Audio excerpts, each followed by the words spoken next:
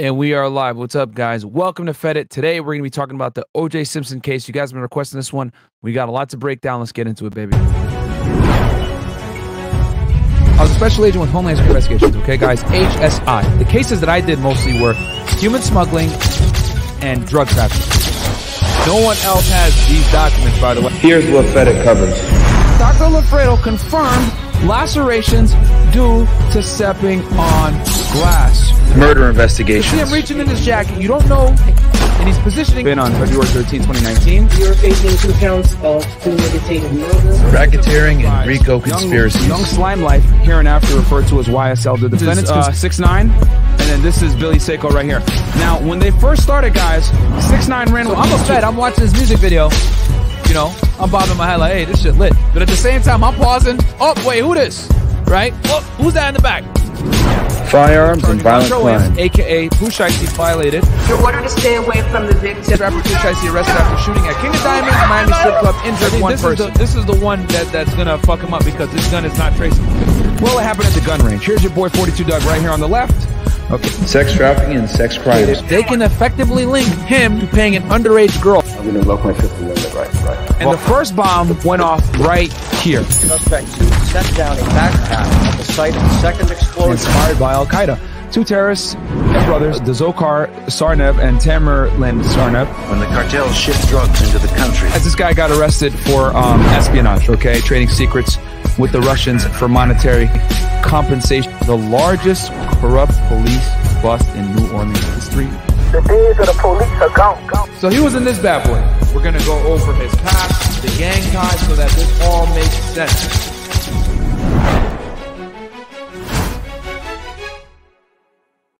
All right, what's up, guys? Welcome to Fed It, man. Uh, today we're going to be breaking down the OJ Simpson case. This case has been highly requested. I spent the past week researching this thing. Go back into memory lane real quick.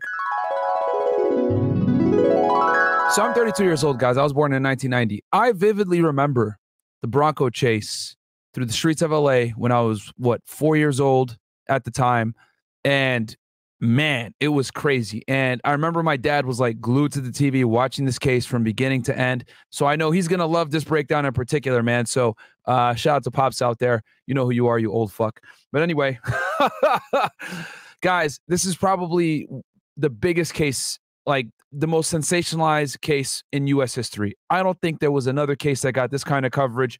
This thing makes the Amber Heard situation look like a joke. This was a 10th month long trial. It was a ridiculous story. You got a famed former NFL star turned actor turned sponsored athlete with Hertz, you know, accused of murdering his wife, okay, who was a Caucasian, attractive woman, by the way, and uh, and another Caucasian male in cold blood, man. The violence, and we're going to talk about this in a documentary. We're going to react to a documentary. I got a couple documentaries here actually that we're going to react to, but it was crazy. I remember you you couldn't explain um what it was like. I can't even explain it. Like you, if you lived through it, you know what I'm talking about. And I was a kid. I can only imagine for the guys out there that were adults. This was crazy. So anyway, let's get right into it, guys. I'm gonna go ahead and share screen with y'all real fast, and we're gonna go ahead and get right into it. So who's OJ Simpson, guys? OJ Simpson is Orenthal James Simpson, born July 9, 1947, nicknamed the Juice, is an American football, uh, former football running back, broadcaster, and convicted felon who played for the Buffalo Bills and San Francisco 49ers of the NFL. Once a popular figure with the U.S. public, he is now best known for being tried for the murders of his former wife, Nicole Brown Simpson, and her friend, Ron Goldman. Simpson was acquitted of the murders in criminal court, but was later found responsible for both deaths in a civil trial. Okay, and we're going to talk about that here in a little bit. He went to USC, guys, where he was a star.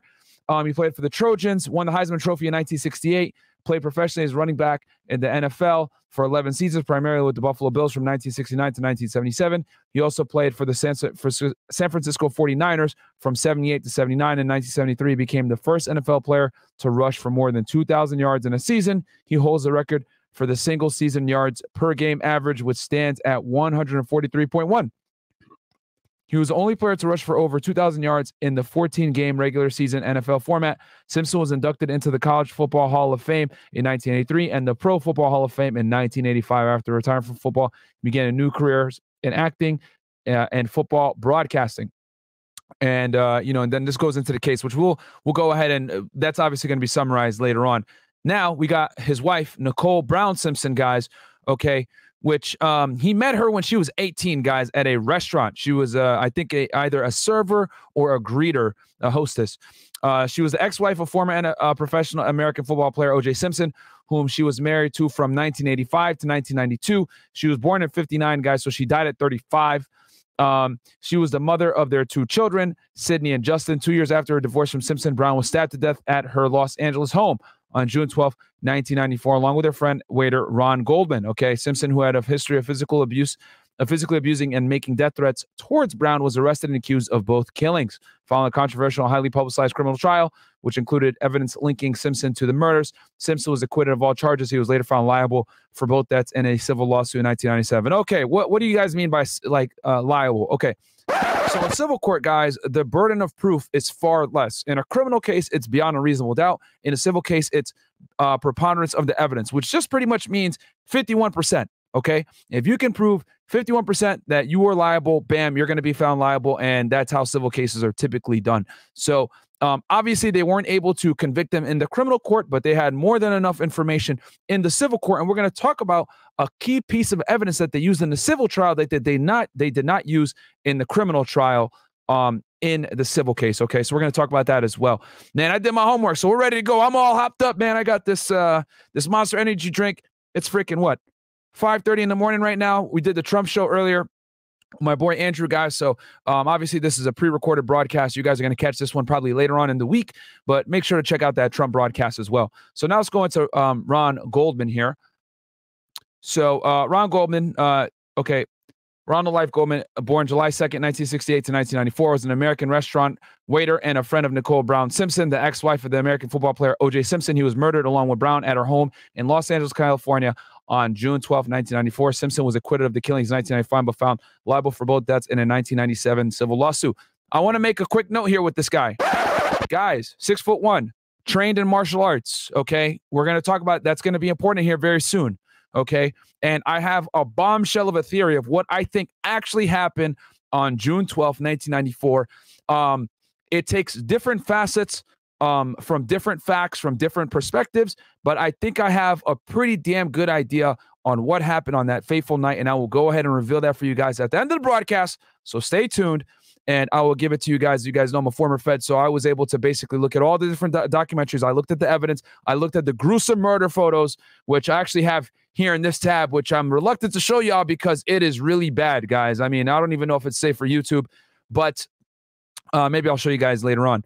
But it, yeah, th- these these photographs were bad. But anyway, uh, let's go ahead and get into guys the um the documentary. Okay. Um, and I'm going to be pausing this thing as we can as we uh, go through it. Um, this is an older documentary, guys. It's called uh, O.J. Simpson Untold uh, Story.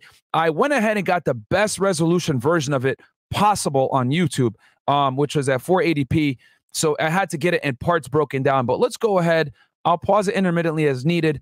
But this one, I think, gives a pretty good overall view of uh, a bird's eye view of the investigation from a holistic standpoint. It's fairly unbiased. Um, and we're gonna go ahead and just work our way through this thing, man. So let's uh, get into it. Sit back, enjoy, and let's go. Former American football star and actor O.J. Simpson stood accused of murdering his ex-wife Nicole and waiter Ron Goldman in a bloody. These older documentaries are always better, by the way, than these newer knife ones. attack. action find the defendant Orenthal James Simpson not guilty of the crime of murder in violation of penal code section 187. The verdict divided America and the world. In the eyes of many, despite his repeated protestations of innocence, he was and remains a guilty man. Divided is an understatement, guys. When this verdict broke, literally all the black people were going crazy. All the white people were pissed as fuck. and it was just wild, guys, because you got to keep in mind, let's go ahead and look at the atmosphere of the United States in the mid 90s. Okay. So you had the Rodney King beating that happened a few years prior. You had the LA race riots. You had obviously, um, guys, remember, Martin Luther King had only been killed less than 30 years prior to this. Okay. The 90s was still very sensitive uh, to race back then, especially Los Angeles, which had a history of um, police misconduct, racism, etc. So for this to happen in Los Angeles, okay, of all places with a, you know, prominent African American former athlete that was loved. Guys, OJ Simpson was loved. He was charismatic, he was charming, he was attractive to the ladies, he was a uh, he was a ladies man. He had done his thing, he had children. He was like the uh, you know, he had made it from the gutter. He originally grew up in San Francisco and you know, was a college uh, athlete, was a star, had a, you know, a, a very vibrant smile, pause, and people loved him. So he had a, a Caucasian woman, right? As you guys saw from the photos before, Nicole Simpson was extremely attractive. He met her when she was 18. He was going, he was getting ready to divorce his wife at the time. Um, he met her, I think, in 1977 when she was a hostess. They they dated each other for seven, six to seven years, and then they ended up getting married in 85. So um this murder, guys, was it was a it was a microcosm of what was really going on in the United States at the time when it comes to race. Things were still split in the 90s, guys. The civil rights era was still fresh in people's minds. Um, there was still a bunch of uh, racist stuff going on. There was still police brutality going on to a greater extent than it is nowadays. Um, arguably, arguably so. Um, and yeah, it, it was it was a different era, guys. It was a different era. You know, obviously, gangster rap was just starting to make uh, uh make its move. Uh, you know, the Chronic had been released in 1992. I think Doggy Style came out uh, not long after that. Tupac was still alive at this time. This was a very um, you know, and he was saying fuck the police and all this other shit. No, uh, Big was alive at this time, so this was a very pivotal era in race relations between blacks and whites in the United States, and for it to happen in Los Angeles with a black and white couple, for Nicole Simpson to be murdered the way that she was, with the violence and the the grotesque atmosphere that they were found in, guys, you know, it's literally the makings of uh, literally like a thriller. You know, this is like some shit out of legit, legitimately, literally out of Hollywood. So when these verdicts came down, it was wild. And speaking of which, by the way, this is Rob Kardashian right here. This is Kim Kardashian's father, a close friend of OJ Simpson, and also an attorney. He was a part of this dream team, which we're going to talk about here in a second. But the world has not been told the full story. That's his son, OJ's son, right here. Tonight, this film reveals that the evidence heard in court was only part of the real picture. It also Johnnie Cochran, legend, Shapiro, right? All star team of attorneys. reveals that clues which pointed away from Simpson as the killer were dismissed or ignored. It shows that crucial evidence was tampered with and destroyed, that the police so contaminated the crime scene that the evidence was unsafe. And it reveals that there is a potential suspect, a close member of Simpson's family who has never been questioned, and that six months before her murder, someone was offered money to kill Nicole. This is OJ, the untold story. All right.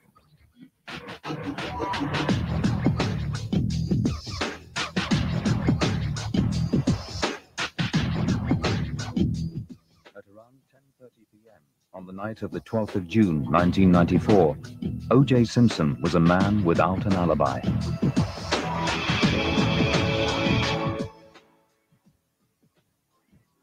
Was he chipping golf balls in his backyard as he claimed? Or was he driving to Nicole's house in a white Ford Bronco to commit a grisly double murder?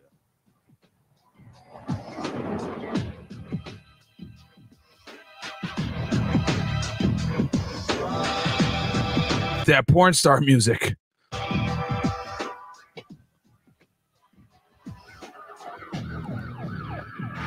All right, so I'm noticing the sound is kind of like going in and out. What I'm going to do is, if it keeps doing this, I'm going to go ahead and just play the full documentary from another tab.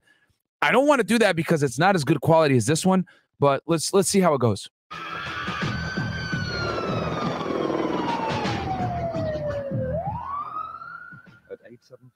South Bundy Drive, in the comfortable suburbs of West Los Angeles, Nicole Brown Simpson and Ronald Goldman lay murdered with multiple stab wounds.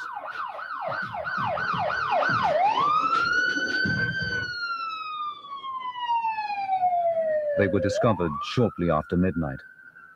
When I looked at the bodies, this to me was a rage killing.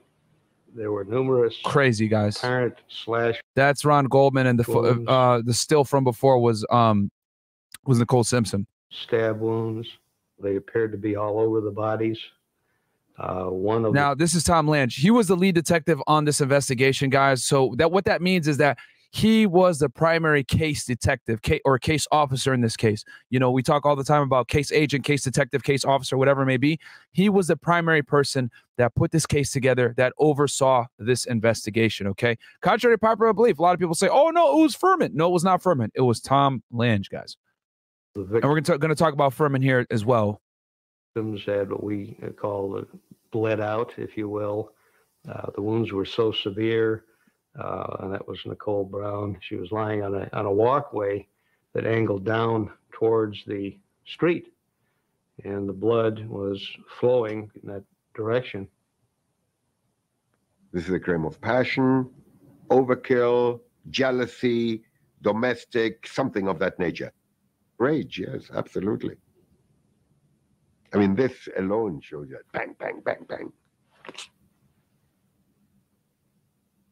Those murders were ghastly. They were awful murders.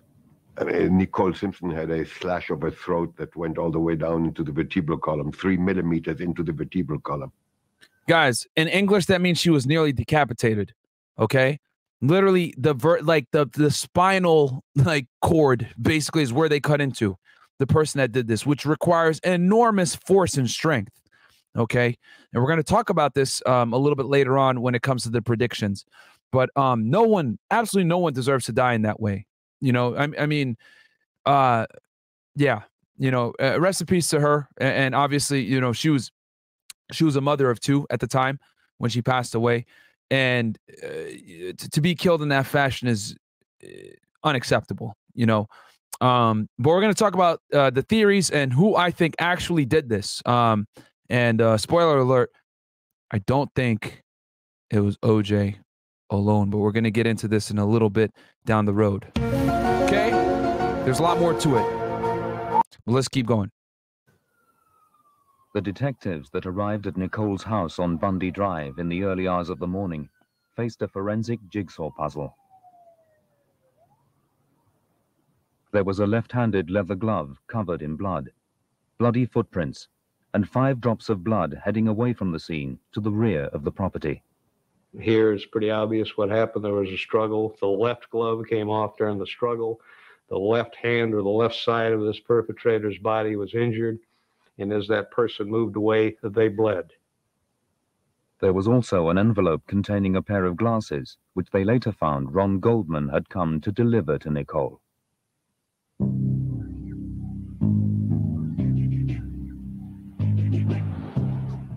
35-year-old Nicole had been divorced from O.J. Simpson for two years.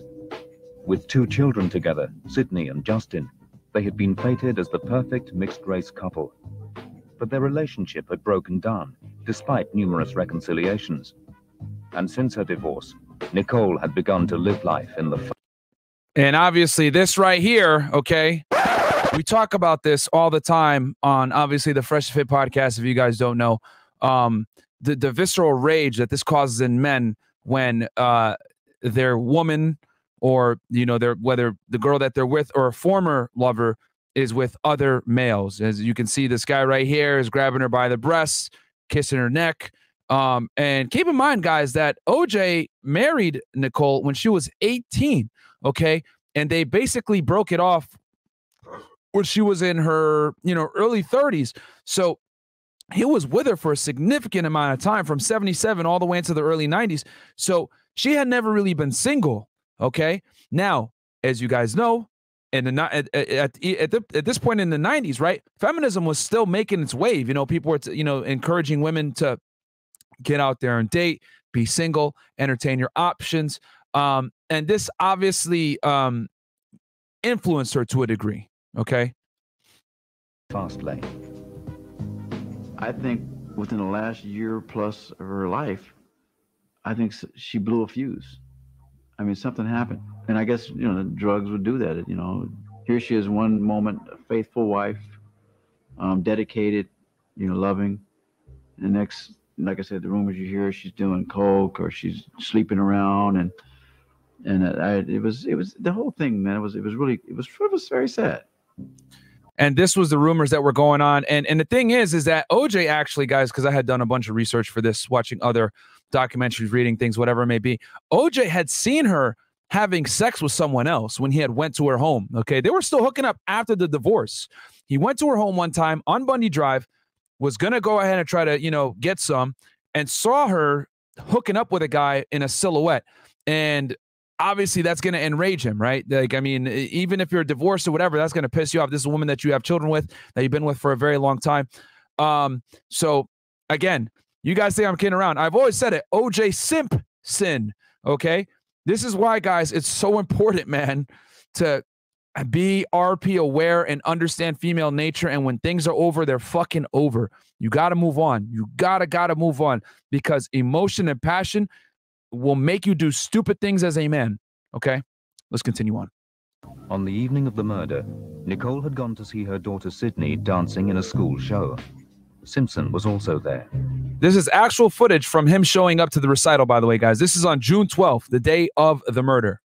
He'd heard that day that his affair with girlfriend Paula Barbieri was over.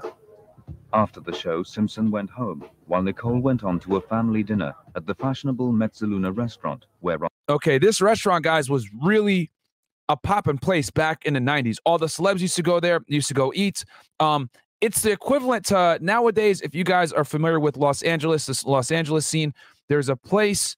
Um, God damn it. Now I, I the name escapes me. Shout out to AD from No Jumper. He took us there a couple of times.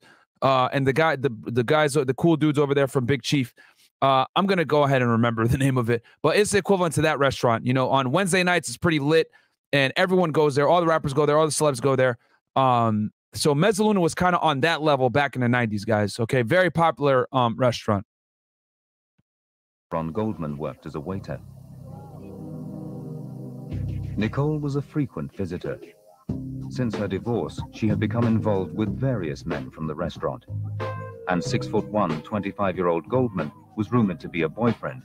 He had As y'all can see, he's a Chad, right? and you know there was uh, definitely like rumors that they were hooking up with each other on the day that she went. Actually, guys, and I know this from insider information. Uh, he did not. He he was there working the day that she went with her family to go eat. However, that that night, however, he did not serve her. Okay, he had another waitress go ahead and take care of that table, which also is a clue, right? That I think that they were hooking up. All right. And we're going to get into a little bit more as to how I think uh, what made me come to this conclusion. But yes, he did not serve her on this day when she went to the restaurant. However, he was there, which unfortunately is what's going to lead to his demise. And we'll get into that here in a second. Been to her house and been seen driving her Ferrari. 25 years old, six foot one, good shape, martial artist, and an expiring actor, by the way, as well, guys. Nicole and the children had returned home by 9.15. When detectives arrived, candles were alight, there was music playing, and a bath was still warm. Rod Englert faced the task of trying to reconstruct what happened. Nobody will ever know what was in her mind when she walked out because she left her front door open, walked a few feet down the landing, down the steps where the attack occurred, and she was stabbed four times in the left side of the neck.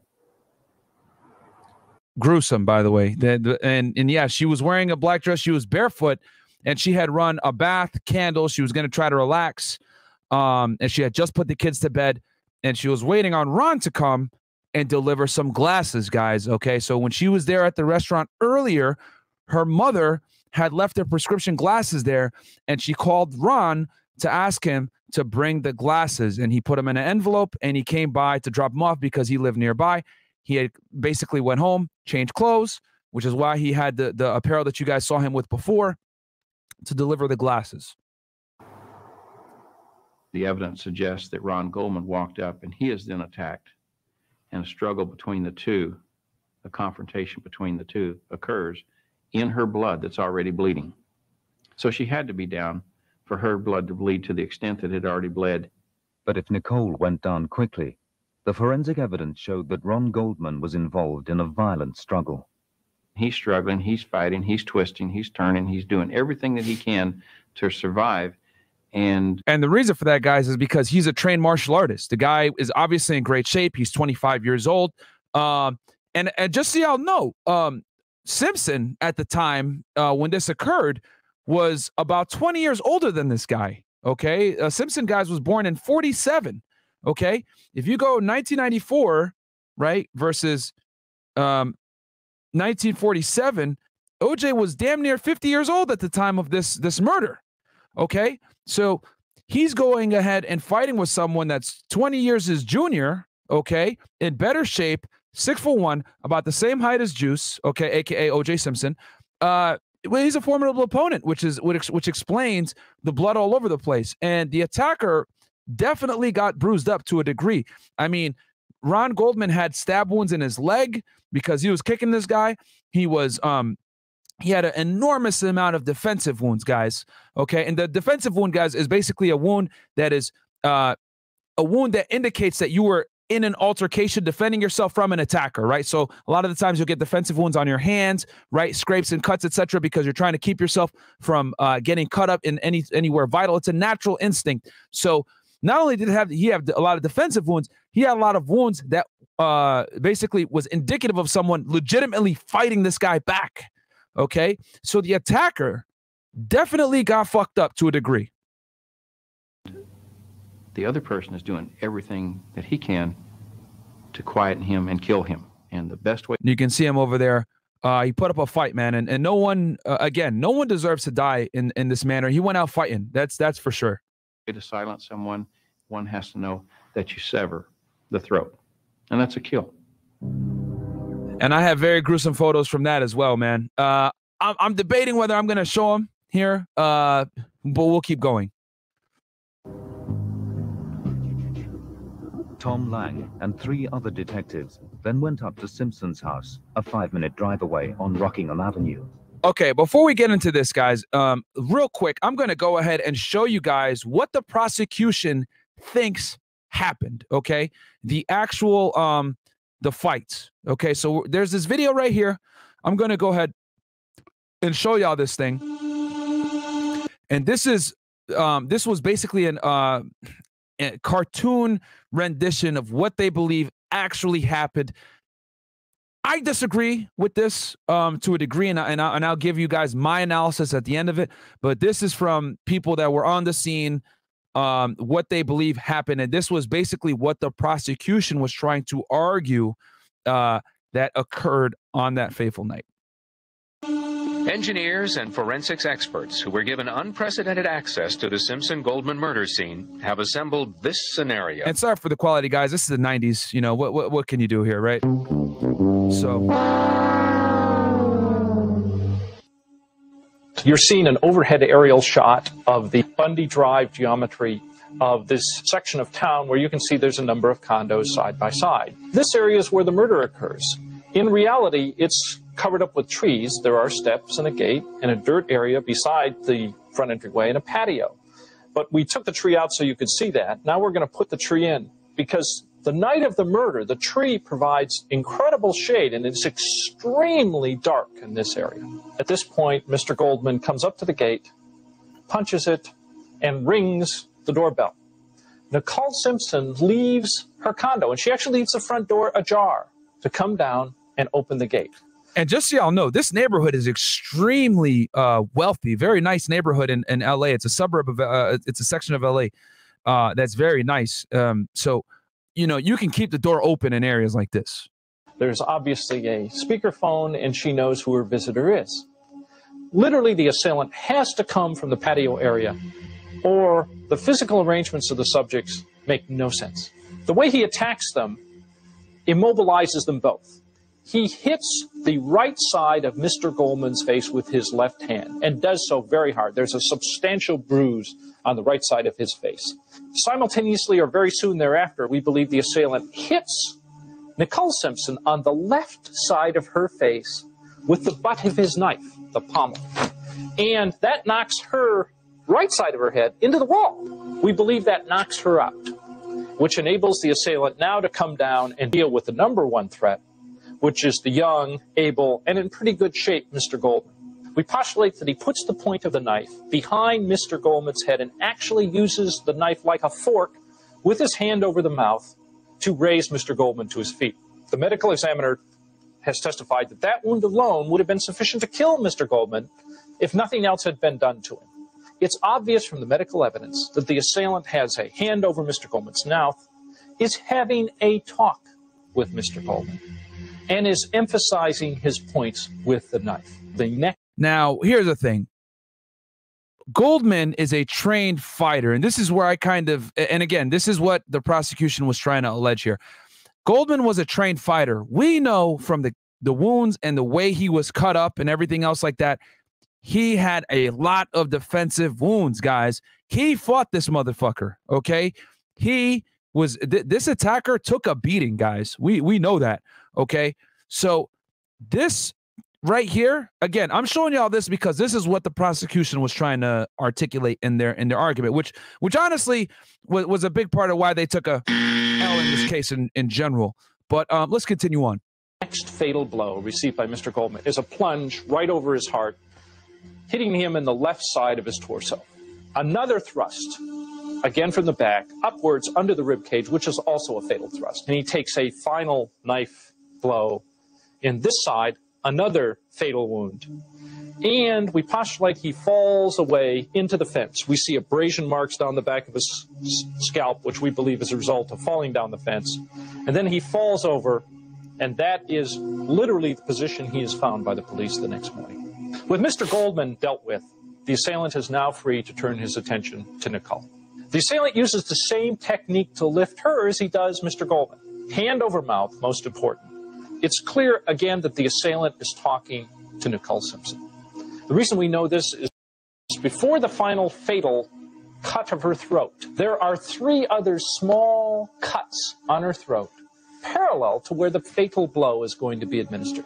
It's clearly, again, torture. The final cut across her throat is going to be delivered with her head cocked substantially back. And the strength in that cut is enormous. And by that I mean she is going to receive a single slice to the front of the throat that is going to be so deep it is going to nick her spinal cord.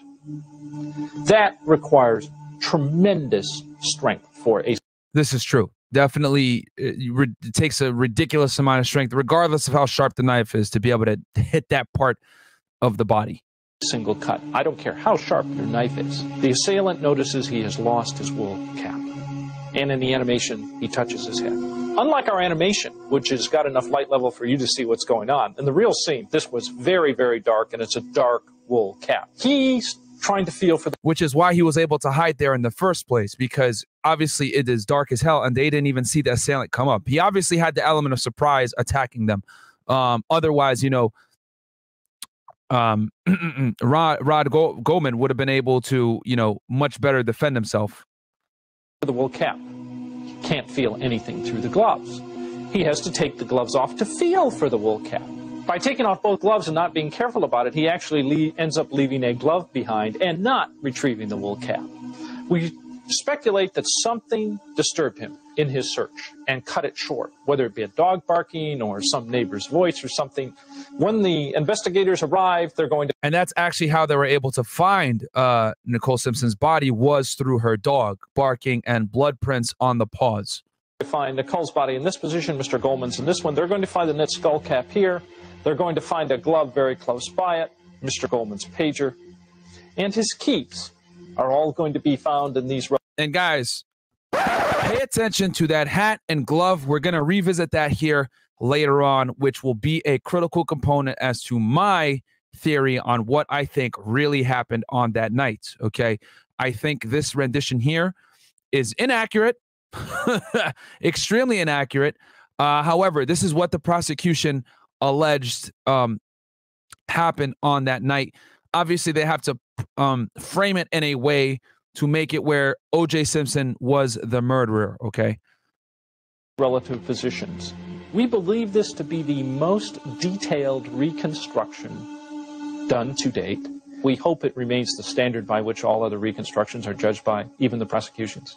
Of course, an animation from the O.J. Simpson defense team would show a different conclusion.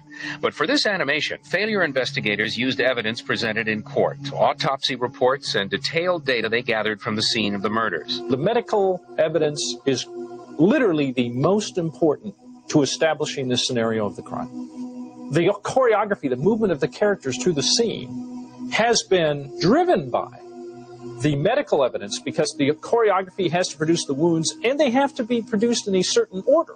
The hat is found. Well, where's the cut on the leg then? We know Ron Goldman kicked this guy for sure. We know he kicked him. You know, where's the wound on the leg? Because he had a se- severe cut to his leg, guys. Okay. Um, that's why if you look at his left pant leg in the photograph, okay, it was very bloody. Okay, and let me see if I can get a picture of that for you for y'all real fast, so you guys know what I'm talking about. I'm not capping. With, I believe the number is 26 African American hairs in it.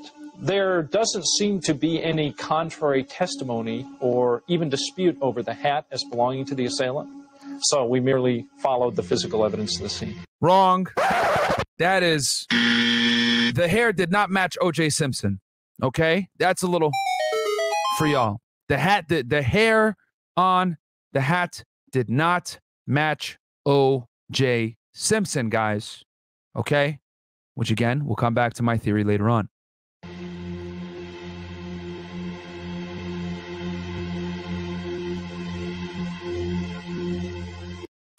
All right. So let's go back to the original um, documentary. So, quick little recap for y'all that are just joining. The murder occurred Ron Goldman, Nicole Simpson have been killed. Now they're um uh basically the police have been called. They show up on the scene, they see the massacre, and the first thing they say is, All right, we gotta go talk to OJ, who lives down the street on Rockingham. Okay. She's on Bundy, he's on Rockingham. And just so you guys know, and I'll go ahead and pull this up on a map for y'all to show you guys how close they actually were to each other. But now the police are rolling up to go ahead and let OJ know, hey, listen, your wife was just murdered, and they are are worried that he might be the next victim. Okay. He had to be informed, but as the ex-husband, he was also a potential suspect. On their arrival, Detective Mark Fuhrman told his colleagues that he'd found a speck of blood on the door of Simpson's white Ford Bronco, which was parked outside. The detectives then went on to the property and found that Simpson had left for Chicago a few hours before at 11 p.m. During their search of the house, Detective Fuhrman said he found a right-handed glove covered in blood. So Detective Mark Fuhrman is the one that discovered this glove at Rockingham outside of OJ Simpson's house. And I also want to let you guys know as well that an interesting point was what happened was they showed up to the house and they couldn't get an answer out of anybody. So Fuhrman went ahead and scaled the fence and went to the front door to go ahead and try to get a hold of somebody. No one answered. So he went to the back guest house and was able to speak to one of OJ's friends who was staying with him. And the guest said, Hey, I heard some noise in the back area. I don't know what it was though. That's why Mark Fuhrman walked back into this area and saw the glove. Okay, and that's this is gonna uh, open up a can of worms later on. But um, that's how he came to find this glove. By the way, guys, just because I don't know if this documentary documented that. Fuhrman had been to Bundy. Uh, it's, it's not too difficult to put two and two together. It's still four. He sees what appears to be a matching glove, and it's a right-handed glove. This now becomes a crime scene. As dawn broke, the police said they found spots of Simpson's blood on the drive of his house and in the entrance hall. Simpson was now the prime suspect. Now, another thing too that I want to tell you guys is that um them being able to uh scale the house and go there the reason why they were able to do that is because the detectives were able to articulate, hey, we got someone that's in imminent danger. His wife was brutally murdered down the street. We don't know if he's necessarily a suspect. We need to alert him for his own personal safety. So that's why Fuhrman went ahead and jumped the fence. Because keep in mind, they don't know who committed the crime. Okay. They're just like, oh shit, we need to let OJ know because he's down the road. He's associated with this woman. So that's why they scaled the fence and they were able to go ahead, get inside, and talk to the resident and then uh, to establish where OJ was. And then that's when the resident, right, the the the friend at the guest house told Fuhrman, I heard some noise over here. So that gives him the ability to go, okay, let me uh, investigate, make sure that someone isn't on this property, whatever. Bam, and he finds the glove. So the the the there's Fourth Amendment eh, um Fourth Amendment uh things that you can go ahead and circle. There, there's how do I say this? There's exceptions to the Fourth Amendment. Sorry, sorry guys, late night here. Okay, it's six o'clock in the morning. Ain't no sleep. All right. There's exceptions to the Fourth Amendment. And one of them, guys, is, you know, imminent danger of, you know, bodily, serious bodily harm, etc. So if I have information that someone is going to go ahead and, and and um they're in danger or whatever, I can break into the home to go ahead and rescue that person. Okay. That is an exception to the Fourth Amendment rule. So that's how he was able to get onto the property and not have an issue. And then he goes to investigate, makes contact with someone there. That person tells him, Hey, I heard a noise in this vicinity. I don't know what happened. So at this point, Mark Fuhrman has a right to be. Okay. And we always say in law enforcement, when you have a right to be, you have a right to see. So he was lawfully on the property because he was able to get in under a Fourth Amendment exception, aka, you know, serious danger. Then makes contact with someone. That person gives him more, how do I say this? More evidence, more probable cause, right? Or reasonable suspicion, whatever you want to say here in this case. More probable cause, we'll just say that, to go ahead and further investigate to make sure that there isn't someone trespassing on the property trying to uh, find and or hurt OJ Simpson. And that's how he came across the glove. For any of you guys out there, they're like, well, how did the cops, uh, how were they able to, sca- you know, hop the fence, open the gate, get in there? Isn't that an, uh, isn't that a, a violation of the Fourth Amendment? And under normal pretenses, you would be correct. However, remember, guys, we're not judged on uh, police officers are not judged on 2020 hindsight. They're judged on what were the facts known to them at the time. Okay, they show up to a murder scene, wife and friend brutally murdered. Holy shit, we don't know who the hell this is. We might have a crazy serial killer on the house. Who's going to be the next likely victim? Maybe OJ Simpson. We don't know what's going on here. Let's race to his house. He's right down the street. Race to his house. They don't see anything. Bro, we got to get in there and make sure this guy's okay. Scale the fence, knock on the door, don't see him there. Go back to the guest house. Hey, OJ, you there? Blah blah blah. Make contact with the uh, with the guest. He tells him, "I heard a funny sound in the back." Fuhrman that gives Fuhrman more ammunition to stay on the property. Right to be means right to see. Finds the glove. Bam, admissible evidence now. Okay, see how that all works in tandem, guys. Let's keep going. Like the goddamn video, by the way. You guys are not going to get breakdowns like this anywhere else on the internet. Okay, you got a former Fed here breaking down a murder case of the century.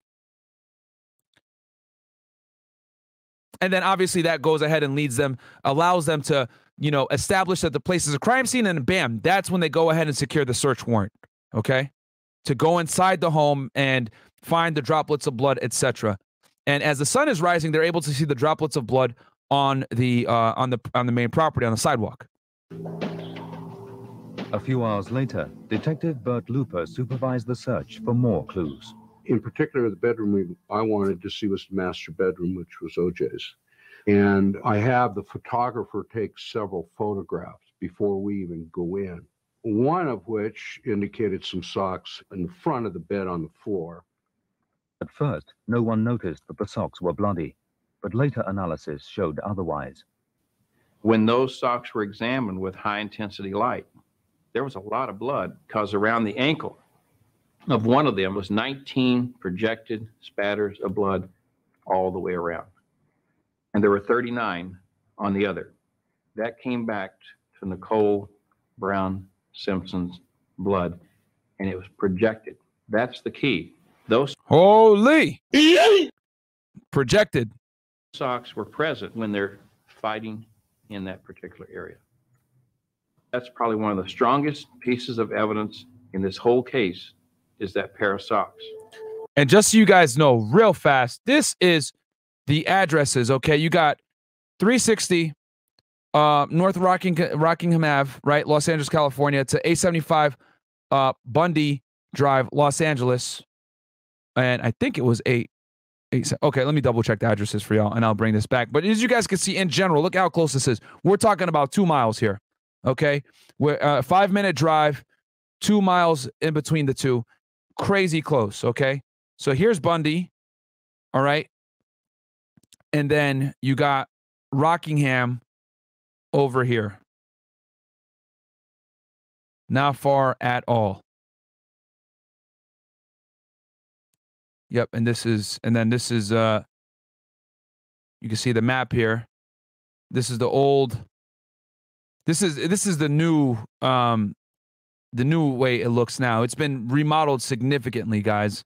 And actually they changed they changed the address uh for Bundy because obviously all the people were going around and trying to take pictures and everything else like that.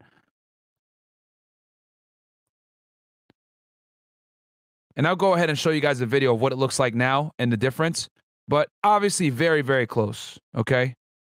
And this is the famous tree that they used to distinguish, which I'll show you guys that later. But the main point of that was to show you guys how close um, the addresses were to each other.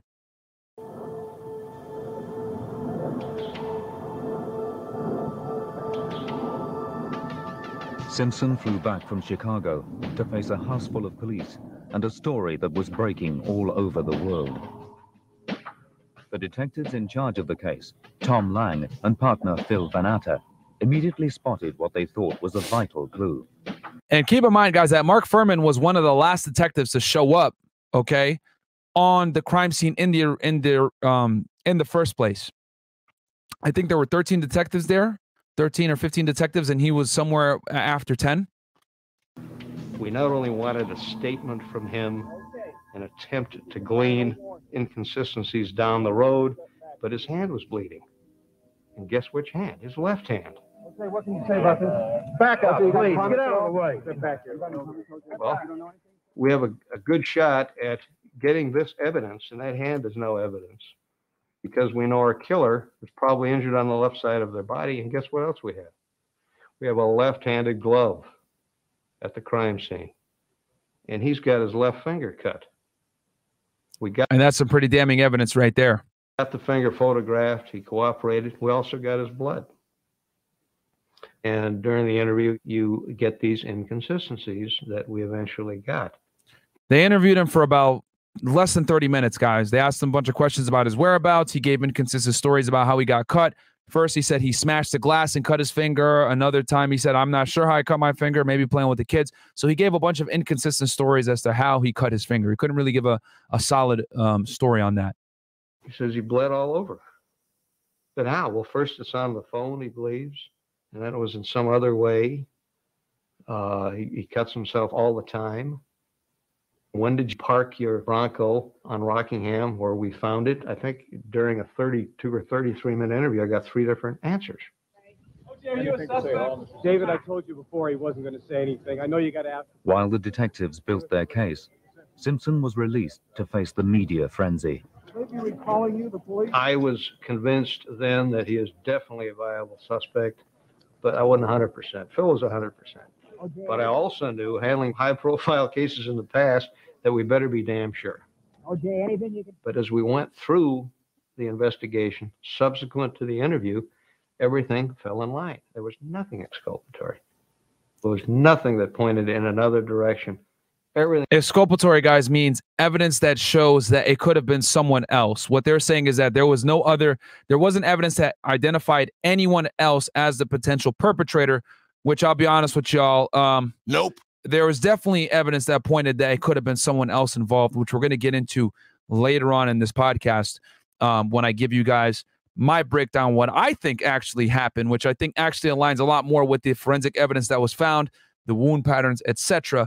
Uh, because I've been doing quite a bit of digging on this case, and I have my theory, but we're gonna save that for the end. And here you can see, guys. By the way, here's uh, O.J. Simpson broadcasting. I think this is for C- MSNBC or something, and there's Nicole in the back. Everything pointed one direction, and that was at Simpson.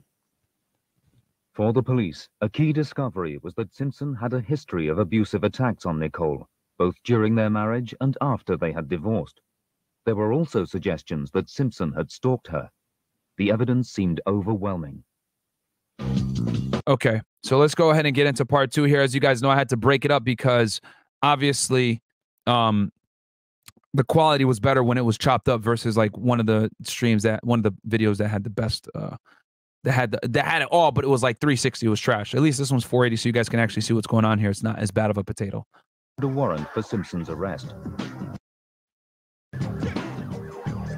Four days after the murders, the police issued a warrant for Simpson's arrest. And just so you guys know, uh, Simpson was arrested in 1989 uh, for on a domestic violence charge against uh, against Nicole, but the police had been called there like eight to nine times prior, so they never actually arrested him. Mind you, guys, this is the 90s. Domestic violence wasn't what it is nowadays. Okay. And on top of that, OJ Simpson was loved in LA. Everyone knew him. The police, a lot of the police officers that responded knew OJ. They would come over and hang out and shoot the shit or whatever it may be. So he was loved in the community. All right. So, you know, is it uh, possible that the police just didn't arrest him because he was the juice, he was the cool guy, everyone loved him? Yeah, it's it's possible. You know what I mean? That could be the reason why the police were called so many different times and they didn't actually arrest him until 1989, but they definitely did have their arguments. Okay. Um, you know, but it generated from both sides. You know, both both both uh, parties definitely antagonized each other. But he didn't surrender as promised. And this is the famous Bronco chase. I remember this, man, as a kid. They, they shut everything down. like the NBA finals were going on. They had television series going on. They didn't give a shit. Everyone was like, you know what? Nope. Play this crap right now. OJ Simpson is on the run from LAPD because he was originally supposed to turn himself in at 11 a.m. He didn't show up. And he has his buddy driving him in the Bronco in this famous chase, man, which was crazy, you know. And again, guys, this is the 90s. You know, this these are different times. It's not like uh, you know, we have television like nowadays where everything is live streaming and everything is. Like live television back then was kind of like a. It's not like it is now. It wasn't. It didn't have the same ease. So this was wild to people. The fact that the news were able to cover this from choppers um, and OJ running away from the police. Is a wanted murder suspect, two counts of murder, a terrible crime. We need to find him. We need to apprehend him. We need to bring him to justice as quickly as possible. Instead, with AC Cowlings at the wheel, Simpson had visited Nicole's. That's a former teammate and friend, AC. Grave, while another family friend and lawyer, Robert Kardashian, read a note that Simpson had left behind. I had nothing to do with Nicole's murder. I loved her and always will. I can't go on no matter what the outcome, people will look and point. And this is how Kim Kardashian got famous, by the way, guys. Her father was famous because he was a very close friend of OJ Simpson. Um, and you know, the, him reading this letter is actually like uh was was kind of like uh, something that made him famous, you know, because at the time this was the biggest thing going on. So this brought the Kardashians into the limelight. I can't take that.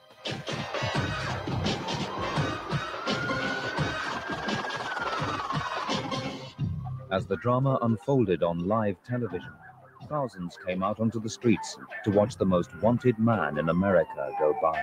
Crazy, guys. Like, this is wild. People were on the streets with signs. I don't even know how, how they had the time. Like, go juice, we support OJ, blah, blah, blah. Like, everyone was going crazy out on the streets, man. Again, this is a 94, guys. All right. This is a 94. This is before, you know, the internet, uh, you know, being made, you know, this was like AOL dial up crap. Like, this wasn't on the internet like that. You know, this was on TV. People are running out on the streets to get a glimpse of the, you know, the iconic white Bronco running through the streets of LA.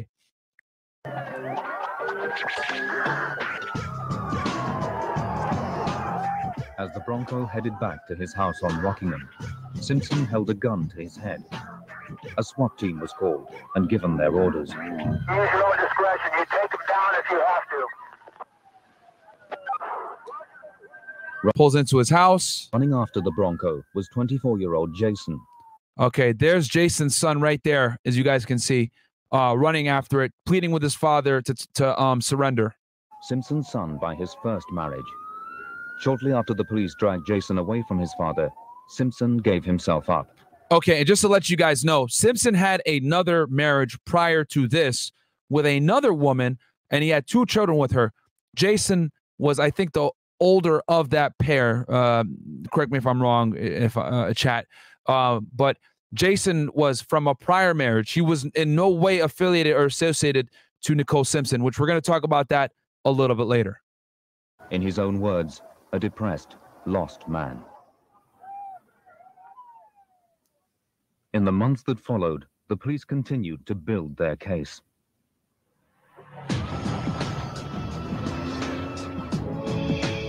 They believed that Simpson had driven over to Bundy and had either stalked Nicole or been driven by Goldman's arrival into a fit of jealous rage. The detectives believed that he had then brutally murdered them both before driving back to his home, spreading blood in his Bronco as he went. The Bronco was a key crime scene in its own right. Rod Englert examined the vehicle when it was taken apart. When the detectives approached the white Bronco that was parked outside of the Rockingham Street address, there was a transfer of blood pattern on the Bronco door that was consistent with the bleeding left hand of O.J. Simpson. It's less than a half inch wide, a little over a quarter inch wide. Consistent with when he reaches up and touches that to open the door. And that pattern is also consistent with the pattern on the inside of the door well where you open the door to get out. The forensic team found Simpson's blood by the driver's door, on the driver's side carpet, on the seats, the instrument panel, and on the steering wheel. But it was the discovery of Nicole Brown's and Ron Goldman's blood, particularly on the center console, that clinched it. For Englert and the team, it appeared to prove that Simpson had been involved in the crime. So that's some pretty damning evidence. And here's the iconic photo, photo right here of O.J. Simpson that has been, you know, circulated everywhere. If there's any doubt in anybody's mind about this person not committing this crime, I mean, then they have a real problem with reality. I need something to point in another direction. I need something substantive that says someone else did or could have done this crime. None of that exists.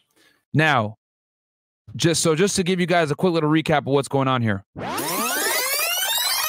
Police show up, see Nicole and Ron Goldman murdered, right? Then they go ahead and they find obviously a massacre. So they go to Rockingham where um, you know, OJ Simpson lives, two miles away, showed y'all on the map how far that is. Then they go ahead and they scale the fence, find the glove, right? And I broke it down for y'all earlier how they were able to find the glove from a legal sense. Find the glove. Now it's deemed a crime scene. They go ahead and they get a search warrant. Also, as the sun's coming up, they start to see blood droplets going on the sidewalk, going into the home, and they find blood in the home and they find bloody socks in OJ Simpson's home. Okay. The blood, okay, on the socks has Nicole and Ron Goldman's blood uh, DNA on it. Okay. And they're also able to find blood between all three parties in the Bronco. Okay. So let's go ahead and keep uh, going through this. Absolutely none of that. So the police are like, we got our man.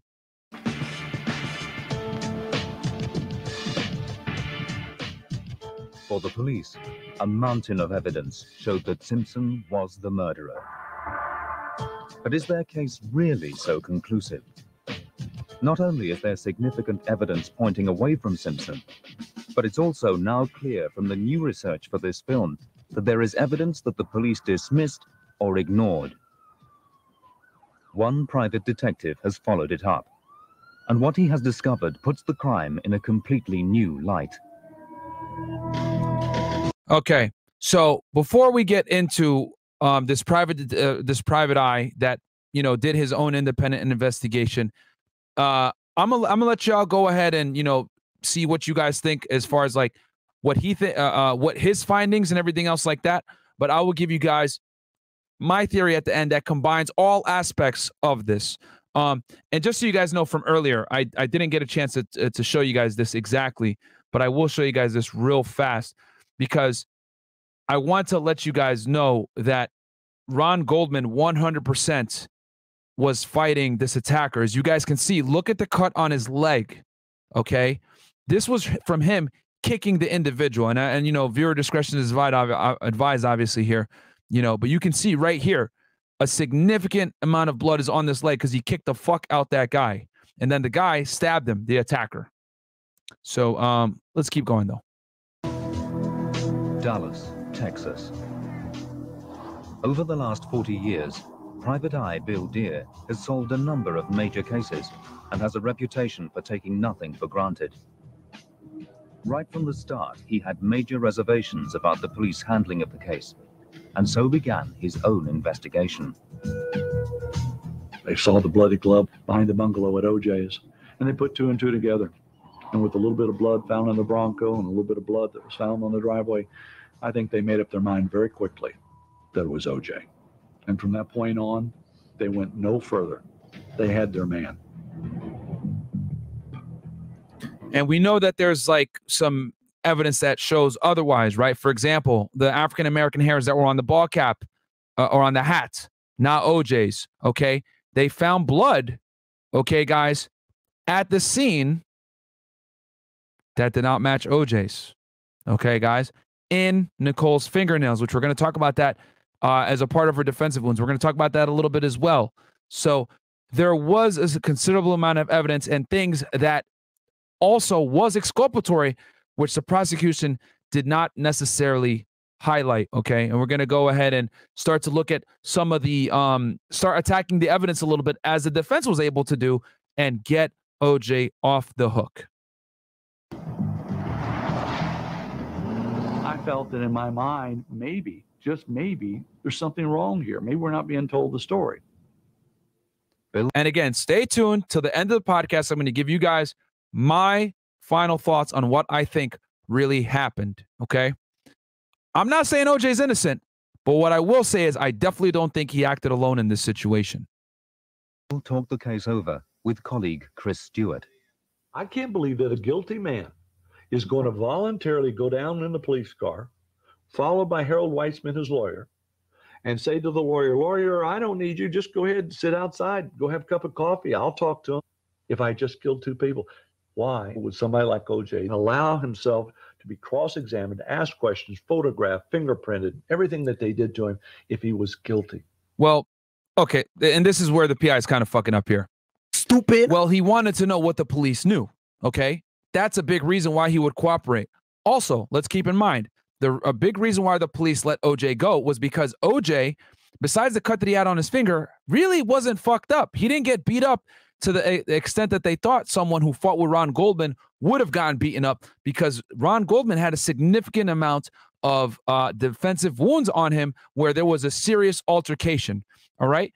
That's another reason, too, why the police let OJ go. Okay. He cooperated. He gave him the blood. He gave them, um, he took pictures with his finger. He gave them what they wanted. He gave them an interview. They wanted to keep him somewhat friendly to, to keep him cooperative. Obviously, he was a prime suspect for them, but they wanted to go ahead and get what they needed to get. So they kept them in a friendly sense. And OJ, right? Obviously not innocent in the situation, want to know what the hell was going on with the police, right? What the hell did they know? Okay. Because when the police originally called him, his first question was, Who did it? Okay. Which is very, very important. So make a note of that, guys. We're going to talk about this later on. The case is too comfortable. That's the problem I've got with it. It's too pat. And I told Chris, I said, you know, I've got to know the truth. Bill Dear then went out to Los Angeles to examine the crime scene for himself. This is uh, where her black Jeep was found. The back gate's been changed, the number's been changed, but other Yeah, they changed it to 879 Bundy, guys, because so many people were going there trying to look for it like 875 Bundy. So they were able to go ahead and get the address changed, but people still know where it's located. And this is the exit from which uh, OJ left, allegedly. Okay. than that, this is the way it was when I arrived about three weeks after the murders. And uh, that night I came back, posted Chris across the street in the car to watch out, watch for my back, and uh, hiked myself up over the fence. I came down the steps, walked the narrow passageway, up steps, down steps, and there I'm standing there by her door. And uh, I'm looking now, and I still see some blood there. And all of a sudden, I'm, I'm looking at what I've been told by the press that he was hiding behind the bushes. And I'm saying, he can't be hiding behind the bushes. There's a brick wall there separating one neighbor to the other. There had to be a lot of commotion and a lot of screaming because these people were fighting for their life. Ron Goldman was a young man fighting for his life. Nicole was young, didn't want to die. Upstairs, you had two minor children. I think that's one of the things that really bothered me all along.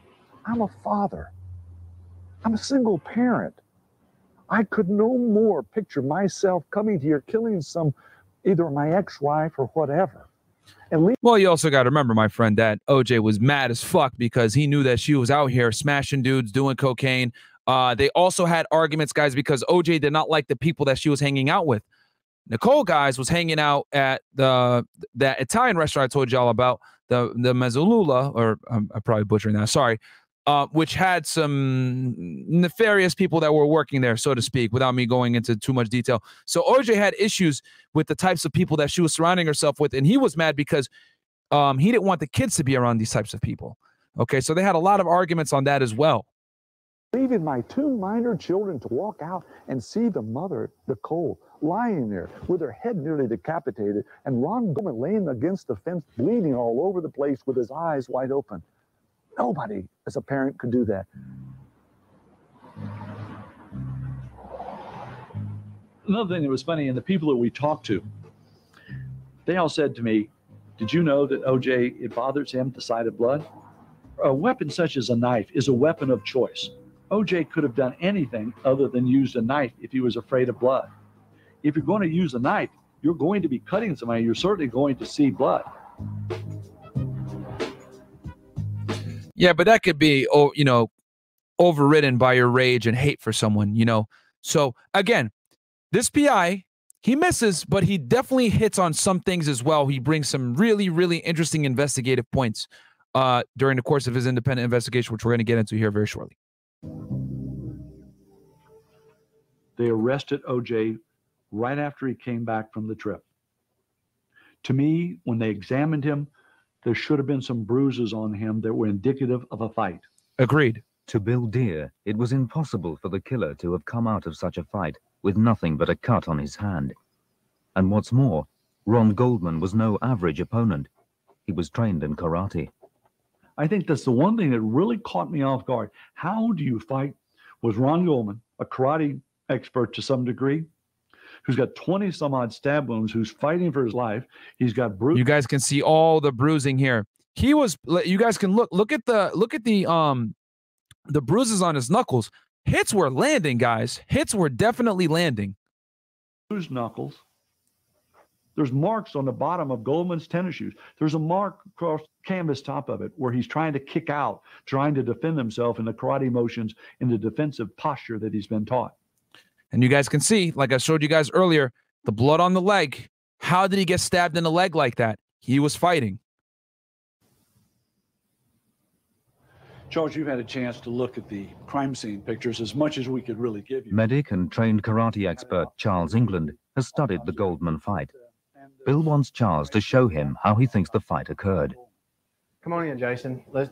I'm going to demonstrate what's happening in the fight scene. Ron Goldman comes by here.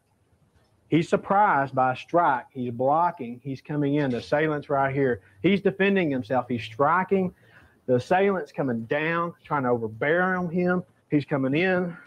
I'm stabbing. He leans back the side kick. Boom. He gets struck. He comes back in. One, two. He struck in and three. Would there be any wounds or any marks on your body based on what Goldman has just done to defend himself and protect his life? If there were bruised marks on the knuckles, what would that be indicative of to you as a professional? He struck him. He Struck struck, him him multiple times. Stick your hands up to strike him. I would say there would be strike wounds in here and to the facial area. Reading the autopsy report, he had bruises around these two knuckles and somewhat the third, meaning he sunk his fist into the man. Yeah. Like that you can't fake that, guys. You know what I mean? You are definitely doing some fucking uh type shit if you're um and obviously this is a fight for your life. Adrenaline is pumping, you know? And I was trained when I was in the law enforcement academy, guys, that when you're dealing with a knife uh, and a knife fight, right? The adrenaline, a lot of times, you won't even know you've been stabbed. All you feel is like something warm, okay? And that's your blood, obviously. But your adrenaline is going crazy. He's punching the fuck out of this guy. You don't get bruises like that on your um on your knuckles without being in a serious fight. Like I said before, the cut on the leg. How are you going to get that? By he was probably fighting, kicking, etc. And the guy was stabbing the leg. Okay. And then you can see crazy blood all over the place in that area and where they were fighting. Could I have done this fight without any bruises whatsoever on my body? What would be the least I could walk away from? The least you could walk away from um, would maybe be a black eye, some bruised ribs, maybe even broken ribs. But when Simpson was examined shortly after the murders, no injuries or bruises were found. Not even a day later, guys. You know, literally, this is the next day. Uh, he comes, he flies right back uh, from LA, uh, from uh, Chicago. Except for three small cuts on his left hand. Simpson has given various answers about the cuts, from a broken glass in his hotel room in Chicago to wrestling with his son. Forensic pathologist Dr. Werner Spitz viewed the photographs and testified in court against Simpson. These were not glass cuts. And uh, what they were were fingernail marks. How did they happen? He held her with his arm around her neck, she with her long acrylic fingernails tried to get his arm off, inflicting those wounds, which by location on the fingers corresponded to that kind of a grasp. But even if they were fingernail marks, Goldman or Nicole couldn't have caused them. Goldman's nails were too short. And though analysis of Nicole's acrylic nails did show blood, it wasn't Simpson's. It pointed to someone else with a different blood group. Guys, that is fucking huge. Huge. I'm going to rewind that for y'all one more time. Okay? That's a bombshell of evidence, you know, and obviously the defense was able to use this to their advantage. But let's get play it one more time for y'all because I want you guys to really take that in. So the marks on OJ's fingers are more indicative of being scratched. Okay. I'm going to go ahead and rewind this so you guys really get this. Location on the fingers corresponded to that kind of a grasp. But even if they were by location on the fingers off, inflicting she with her long acrylic fingernail. she with her long acrylic fingernails tried to get his arm off, inflicting those wounds, which by location on the fingers corresponded to that kind of a grasp. But even if they were fingernail marks, Goldman or Nicole couldn't have caused them. Goldman's nails were too short. And though analysis of Nicole's acrylic nails did show blood, it wasn't Simpson's. It pointed to someone else with a different blood group, blood group type B. That's important, guys. So whoever she got, she dug into them as she was defending herself into their uh, um into their hand or whatever she was able to grab, scratched the hell out of them. And I'm gonna pull up a picture of her nails for y'all right here in a second. Um, she was wearing some white tips and white uh, French tip nails, and she was able to go ahead and obviously get some of that blood under her nail, and it was not OJ's. That is huge, guys. That is huge. So now we got the cap, right? The hat that has African American hair fibers. However, it's not OJ's. And we got blood under Nicole Simpson's fingernails that is not OJ's. So that in itself is exculpatory. Let's go into part three here. Like the video, by the way. Hope you guys are enjoying this. wasn't bruised as expected, and the fingernail evidence pointed away from him. There were more contradictions, too. The police and the prosecution were adamant that Simpson had carried out the murder in a spontaneous fit of jealous rage. And yet they also believed that Simpson wore the gloves that had been found, suggesting a premeditated attack. But even this wasn't the most disturbing aspect of the police case.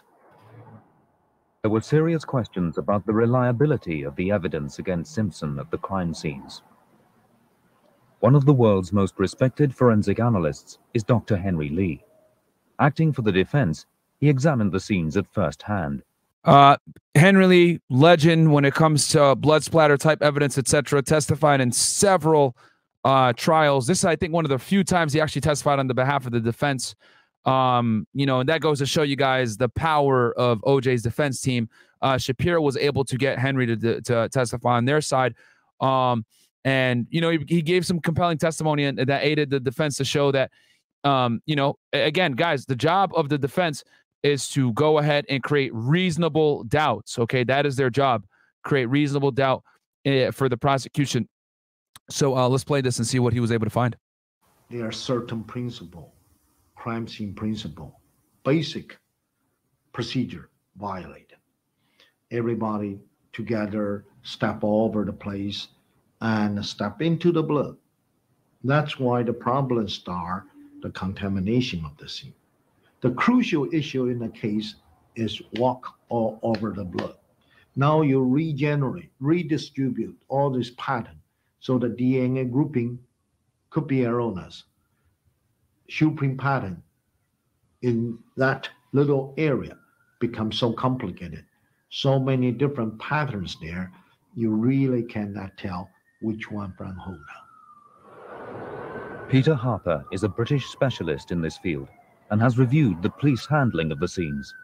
He's a- and that was something that was criticized significantly um, with the LAPD, how they handled the evidence, carelessness, contamination. This was a big part of the defense's a- angle to go ahead and attack the defense. And guys, this is why chain of custody is so important. This is why um, evidence procedure in general with law enforcement agencies all over the country were revolutionized by this investigation because the defense was able to attack something that typically is unchallengeable forensic evidence, guys, based on the fact that it was contaminated. Astonished by the disregard of basic procedure. Or the allegation that it was contaminated, excuse me. There's about seven to nine officers milling up and down that path, and it still hasn't been forensically examined or cleared. I mean, it, it's atrocious that. It should never, ever been allowed to happen. Now, there's a, the view here of the coroner's officer. He's now at the top of the steps, so he's walked through the blood. Okay, so guys, I have a graphic photo here that I'm going to show you guys. Um, and this is uh, Nicole Simpson's nails. I was able to find one. This was actually a very difficult photo to show you guys, but I'm going to go ahead and show it here off to the side, right? So you guys don't have to see the face there, but there's her nails. Okay, as you guys can see, there's a significant amount of blood there, obviously from her getting cut, but there's also some blood there that um from the attacker. Okay, uh, so this was taken obviously on the date of the uh, of the attack.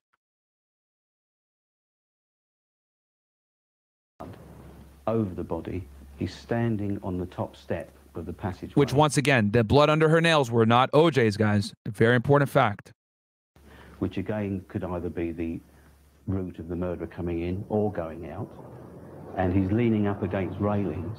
He's got his foot against the wall. He's rubbing valuable evidence away and again introducing evidence to that scene. The catalogue of errors goes on. According to Henry Lee, blood that had quite clearly dripped onto Nicole's back could very well have been the killer's. It was never even collected. This on her back, those passive dripping clearly indicate could be another individual's blood. Could be Ron Goldman's, could be the suspects. That's why it's so crucial for solving case to reconstruct the case. That seven drop of blood should collect. However, the moment you turn the body around, that seven drop is gone. The moment you put the body in the body bag, that seven drop were lost forever. Peter Harper and colleague Terry Marston found yet more violations. And this is the importance of preserving the crime scene, guys, especially in murder investigations. You only get that crime scene one time. Okay. So you need to be able to collect everything that you need to collect. No one gets moved, no one gets touched until everyone is able to, until they're able to properly photograph it. They're properly able to collect uh, uh, swab samples. They're properly able to gl- uh, get DNA samples, blood samples, um, bodily fluids, whatever the hell is there at the scene. And the coroner is not supposed to come in until way later until the detectives and the forensic team are 100% done and do what they need to do. Of procedure. Ideally, you should have separate teams for each incident, and none of those teams should come into contact with one another. So that if you have a potential murder scene at Rockingham, it must be kept completely separate from Bundy Drive. And equally so, the vehicle that was involved. That should also be treated as a separate scene. And it clearly hasn't been done. So you've cross contaminated all three scenes. There are also major concerns about the blood evidence in the Bronco being contaminated. Incredibly, a number of officers who had been at the Bundy crime scene were reported to have been inside the Bronco before it had been examined. And one of those officers had looked after Nicole's dog, whose blood-stained paws had originally led people to the victims. So that's another issue there as well, right? Because you now you're having chain of custody issues. You don't know whose blood is what, where it came from, etc. So it starts to mess up the ability to recreate the crime scene. And the dog was the original person, person, the original um, signifier that Nicole had been murdered. Guys, she got murdered somewhere around uh, 10 between 10 30 ish to 11 ish and she didn't her body wasn't discovered until midnight because the dog was barking and neighbors had found the dog with blood on its paws and the dog led them back to nicole The fact that he got into the vehicle, it's been proved that he visited the scene. He's contaminated that vehicle. Therefore, all that evidence, it isn't evidence. It- It's corrupt evidence. It's, it's, it's, there is no validity to that evidence. If you went to the Crown Prosecution Services with that type of evidence, it wouldn't see the light of day. It certainly wouldn't go to court and it certainly wouldn't see a prosecution.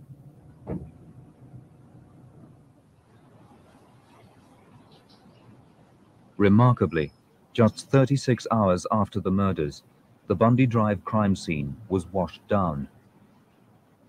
Oh shit, wow. That's kind of quick. Was this a case of bad police practice? Or was the Well, also keep in mind, guys, that they had an enormous amount of pressure on them because cameras were all over the place. So they were kind of in a rush to go ahead and process the crime scene. But there were cameras there pretty much damn near 24 7 uh, watching what the hell was going on. So that also, you know, you got to look at it objectively from both sides. You know, yes, were the police rushed? Of course, right? But, uh, you know, did the police do a sloppy job? Yes. Um, but were the press there and being a pain in the fucking ass? Yes. You know, um, and we're going to talk about that here in a little bit. the evidence actively tampered with or even planted to help their case against Simpson? There were two pieces of crucial and damning evidence against him. Nicole's blood was found spattered on a pair of Simpson's socks in his bedroom, and blood was found on the back gate at Nicole's house three weeks after the scene had been washed down, which provided the best match by far to Simpson's DNA at the murder scene. So three weeks later, okay, guys. So that's that's that's uh that's a little wait. What's going on here? What? That they found that.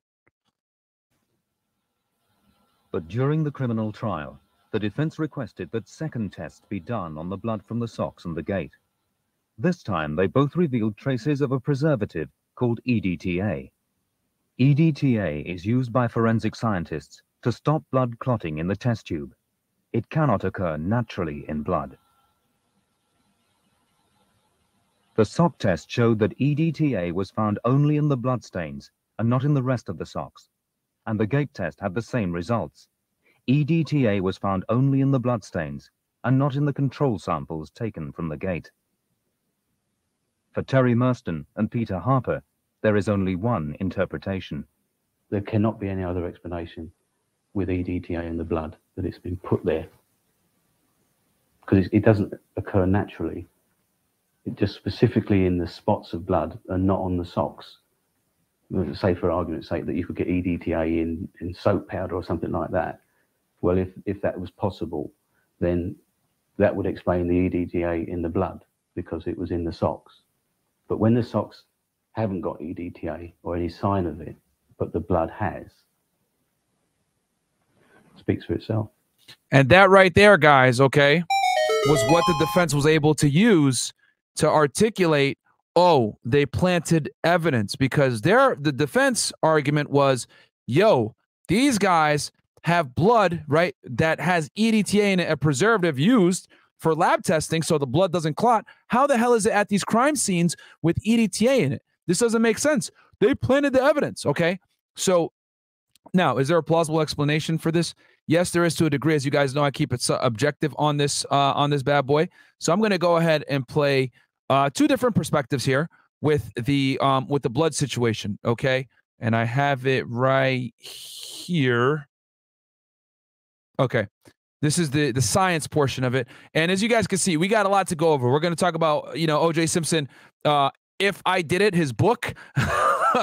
we're to talk we're to go through where the crimes actually occurred real time with video, uh more of the documentary. This is to be probably one of the most thorough breakdowns of the OJ Simpson case on YouTube in modern day. Okay. Yes, I am saying that. So let's go ahead and uh, you know, talk about this EDTA uh controversial talking point that the defense was able to actually effectively use to help OJ and get off. Pause. Get off on murder charges.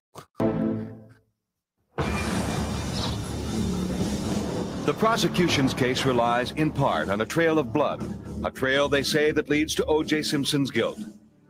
The defense claims the trail leads to sloppy police work, bad science, and perhaps something more sinister. Do you have an opinion on whether, based on those chromatograms, there is EDTA present in the stain from the back gate?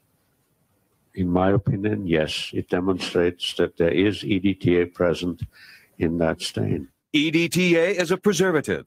According to forensic toxicologist Frederick Rieders, it's present in two bloodstains, one found at the scene of the crime, the other on O.J. Simpson's socks. Why would those stains contain a preservative? The defense offers an explanation. The day after the murders, O.J. Simpson willingly gave a sample of his blood to police. It was stored in test tubes containing EDTA. The defense says someone in the LAPD must have taken blood from one of the test tubes and planted it. But the prosecution points out Rieders didn't do any experiments on the bloodstains himself.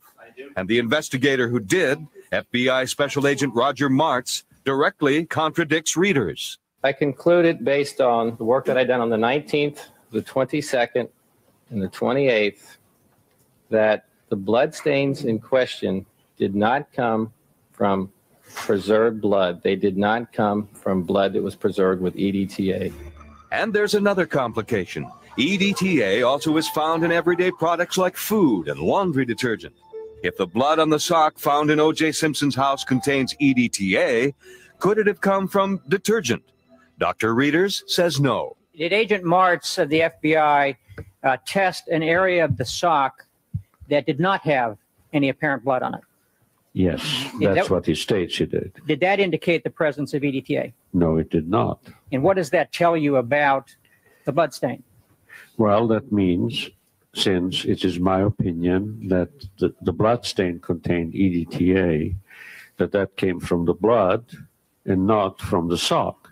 If jurors aren't buying the planted evidence theory, the defense has another contaminated evidence.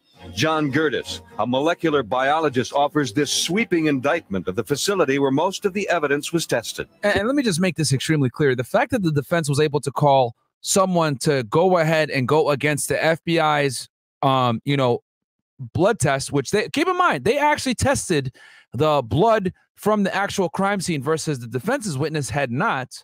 Okay. And then they're able to bring in this guy as an expert witness. And you guys are going to see what he also says.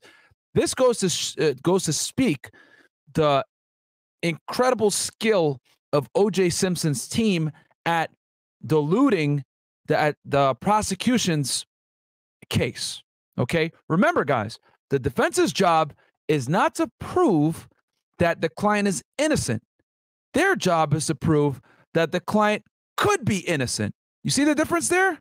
Again, the pro- the defense's job is not to prove that their client is innocent. Their job is to prove that their client could be innocent because US law, right, is big on innocent until proven guilty, and they would rather let a criminal walk free than imprison a uh, innocent man. Okay, so that is what the law is. You know, it- it's that's how it's supposed to be. And if you have a good defense team, that's how it's gonna be. Okay, that's why it's so important to hire your own counsel versus getting public defendants. They're gonna go the extra mile to bring um, expert witnesses like this that can go ahead and do what? Dilute the prosecution's case. All right. The LAPD laboratory has a substantial contamination problem that is persistent and uh, substantial. Is it chronic? It is chronic, and it's chronic in the sense that it uh, doesn't go away. I can find it month after month, and uh, it persists. Gerdes conducted an independent investigation of the crime lab's procedures and performance. He found half to all of the tests performed there have problems. I found uh, that the specimen handling procedures uh, were done in such a manner that it had a tremendous, there's a tremendous risk of, of the potential of this cross contamination. The prosecution counters, pointing out not all the tests were performed by the LAPD. Blood samples also were sent to two outside laboratories, Cellmark Diagnostics and the State Justice Department. Tests And this is a pretty fair, um, you know, the rebuttal by the uh, prosecution. performed at these labs also point to Simpson as the prime suspect. The defense now returns to the scene of the crime, using forensic science to attack the prosecution's timeline theory. Their witness, Dr. Michael Baden, brings impressive credentials. Besides investigating the deaths of John F. Kennedy and Martin Luther King Jr., he helped convict the man who killed civil rights leader Medgar Evers. Today, he testifies about the brutal deaths of Nicole Brown Simpson and Ronald Goldman. What is the basis for your opinion that there was a struggle between Nicole Brown Simpson and her assailant or assailants prior to the time she died? Well, because there were about uh, nine or 10 stab wounds and cut wounds on her body before she suffered the fatal uh, uh, injury. The point of all this is to show the murders took a lot longer to commit than the two or three minutes granted by the prosecution. If the defense can show the murders took five, ten, or 15 minutes, O.J. Simpson's window of opportunity closes. Remember, according to the limo driver, Simpson was back at his estate at 10:55 that night. If Ronald Goldman be because he had to catch the flight to Chicago. And remember, we know that it's about two miles, right, from Rockingham to uh to Bundy. So, you know, it's a five minute drive, but would he have had time to murder them, get in the car, run back home, change, then come down and meet his limo driver? That's where it gets shaky. began a struggle with his assailants at 10:40 p.m. within a reasonable degree of medical certainty. Can you tell us when the stab wound to the chest would have occurred? My opinion would be at least five minutes, uh, more likely around 10 minutes after the neck started to bleed. Your Honor, the defense calls Dr. Henry Lee. Finally, the internationally renowned forensic scientist, Dr. Henry Lee, takes center stage for the defense.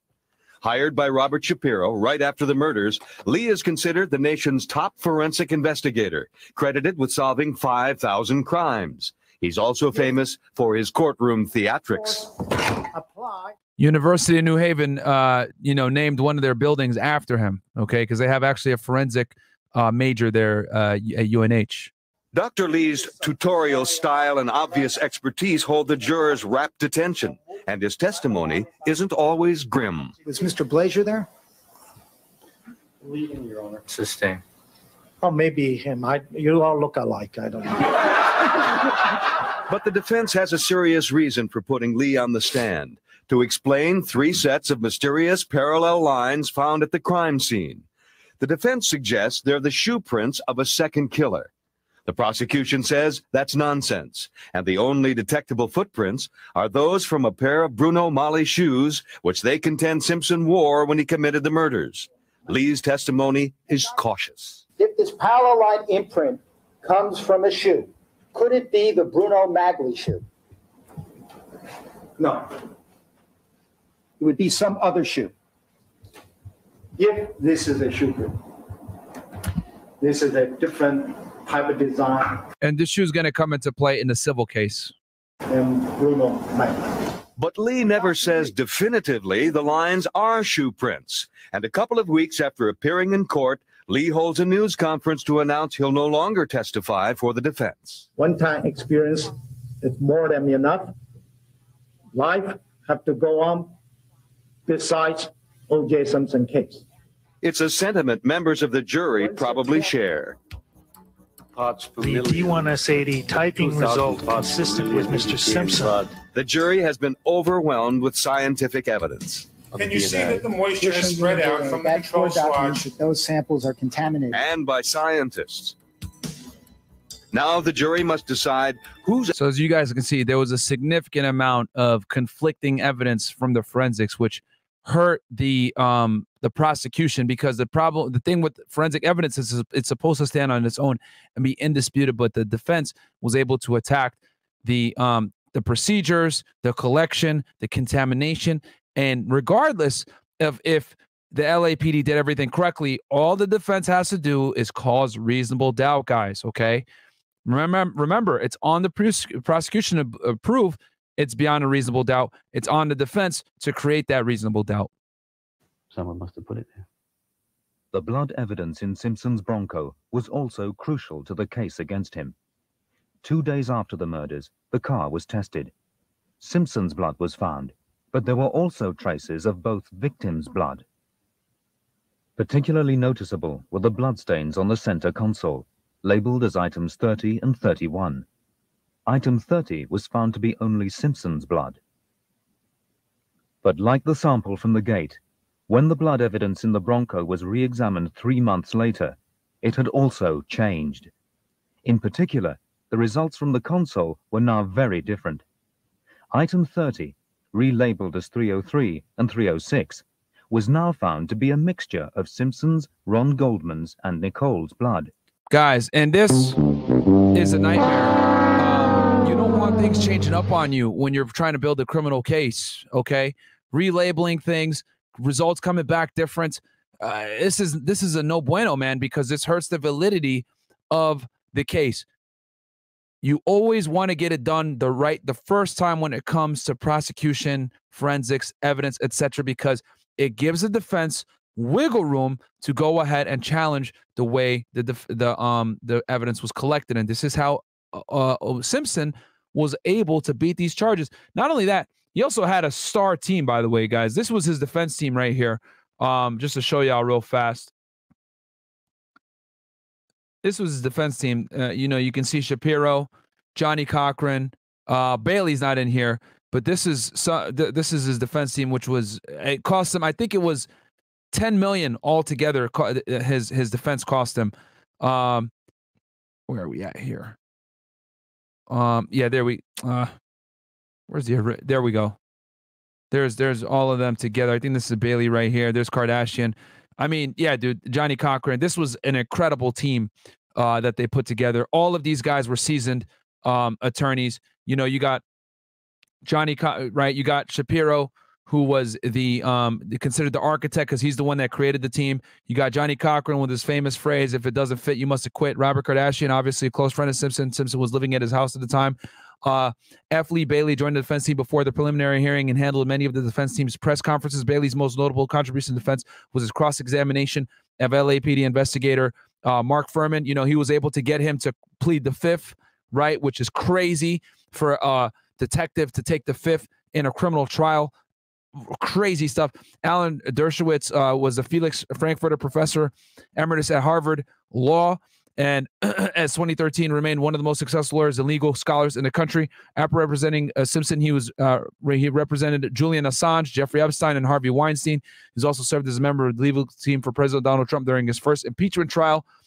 Um, he's written multiple books. Barry Scheck, a law professor at the Benjamin N. Uh, Cardozo School of Law in New York City, forensic expert. Uh, Scheck is known for his work as co-founder and co-director of the Innocence Project, a nonprofit organization that uses DNA evidence to clear the names of wrongfully convicted uh, inmates. This guy was instrumental at attacking the the, the defense's uh, forensic evidence. You know, you got Peter Neufeld joined the Simpson defense team to assist with underlying the uh, undermining the prosecution's DNA and forensic evidence. Um, he is perhaps best known for discrediting the credibility of the blood trail between Nicole Simpson's body and O.J. Simpson's car. Another guy that was also huge in discrediting the uh, the um, the prosecution's uh, you know strategy, which was heavily heavily relying upon forensic evidence and blood. Um, and then you got Gerald F. Uelmen was part of OJ's defense team during the OJ Simpson murder uh, case.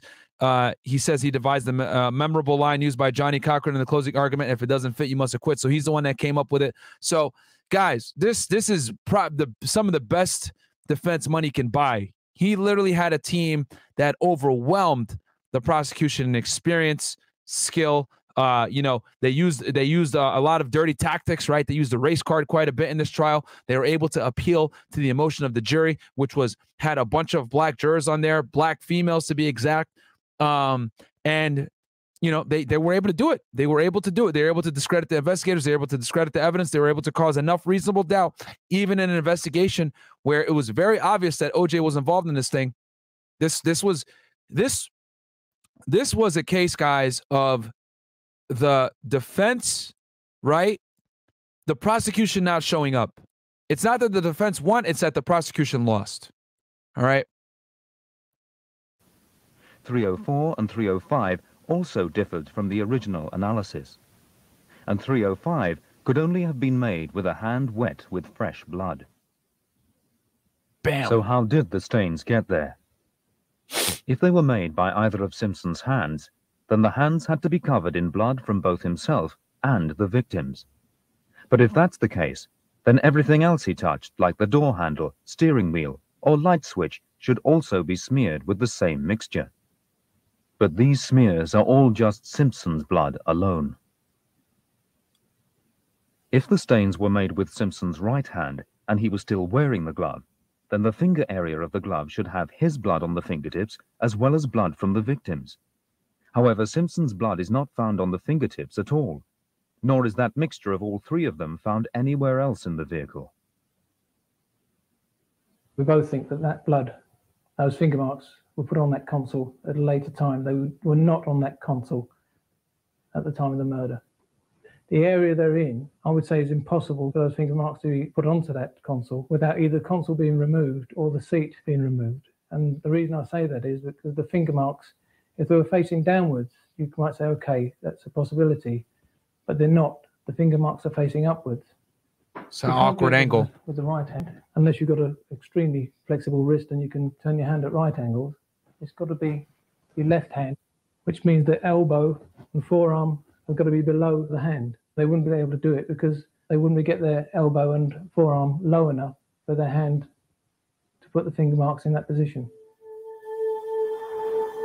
So, with serious doubts over the blood from the Bronco, the gate, and the socks, does this mean that the police were actively sweetening the case against Simpson? Numerous allegations have now surfaced about. See, and the defense can use that and run with it, guys. That's what they do. They take a little piece of information like that, and it's off to the races. Police are corrupt. They're planting evidence. Blah blah blah. about LAPD officers planting evidence. Detective Mark Fuhrman, the racist officer who discovered some of the most important clues, was involved in cases where suspects were beaten and reports were falsified. Questioned under oath, he pleaded the Fifth Amendment, the only way in an American court to avoid giving an answer. The Fifth Amendment, guys, is basically the right to remain silent and not incriminate yourself. That is the Fifth Amendment in, in a nutshell. Detective Fuhrman, uh, have you ever falsified a police report? And this is Bailey right here going ahead and um, you know, this is an iconic moment in the trial when this happened. And I remember when Fuhrman had to come in and give this testimony, right? Remember, guys, they leaked some tapes. Okay, so long story short, let's rewind this real fast so you guys understand what the hell's going on here. All right. So they leaked some tapes of Fuhrman saying some racist things. Okay, dropping an N bomb, saying we got to kill the N bombs, etc. Blah blah blah blah blah. Right. And the thing is, is that these tapes came from him auditioning for some type of acting role of some kind or some audiobook or something like that. It was some kind of he was auditioning for something. And the tapes were made um, available to the defense in the middle of the trial. Okay. And they were able to actually introduce these tapes, okay, as um, pieces of evidence in the trial. However, key distinction here the judge, okay, and I want you guys to also understand this too, that this is very, very, very important. You guys got to understand that the jury did not see nearly as much of what the trial was actually covered by the media. One more time for y'all, please understand this. What was documented on the trial on television, okay, The jury saw a fraction of that. So the jury did not see this testimony you guys are about to see right now with Fuhrman taking the fifth as a detective in a criminal case. The jury did not see this. The jury, however, did listen to fragments of the racist comments, okay, during the trial. They did listen to fragments of it. Again, in context, from what I understand, what I've been told, these racist comments came from him auditioning for some type of acting role or some kind of audio book, something to do like that.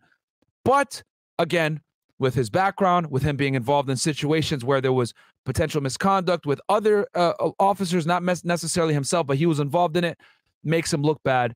And that's all the defense has to do is question your integrity and your candor. And then as soon as you are see- deemed to be non-credible, that's a nightmare for the prosecution. Okay. So uh, let's go ahead and play this right here. I wish to assert my Fifth Amendment privilege. Detective Fuhrman, did you plant or manufacture any evidence in this case? I assert my Fifth Amendment privilege. Crazy.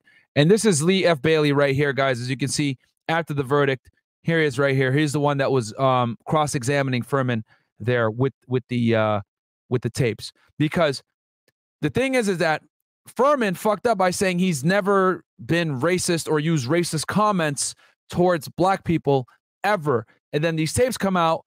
Obviously, he can't sit there now and answer questions because they're going to look crazy. Even if it was for some type of auditioning or whatever, the question was, have you ever used these terms before? And he was basically responding in the, uh, you know, no, I never have. Okay. And then the tapes come out, makes him look crazy. Doesn't matter what context under which he said it. He could technically be considered lying. Now, could he have answered the questions and maybe not been charged or whatever? Yeah, but he's there with his counsel. His counsel's like, "Fuck no, don't say nothing. Just it is what it is, bro. Take the L. You're not gonna you're not gonna open up the door for them to potentially come after you and hit you with perjury. So that's why he decided to take the the fifth, even if him using those words were in the context of some kind of art or acting or whatever the hell he said under oath prior test in prior testimony, I have never used those terms and I am not a racist. And that's what the defense was able to do to attack his credibility. And there were other disturbing aspects to the police evidence. Simpson's defense team also alleged that some of the blood taken by the police after his interview had gone missing. And they discovered that all the main blood samples were taken away by one detective. See, it just looks bad, guys, right? It just looks bad. Just sloppy police work. We learned in the criminal trial that a lead detective had a vial of Mr. Simpson's blood. That alone, in any other case less controversial than this, would have been enough to have, have the case would, if that had been discovered as it was here, then the case would be over, literally.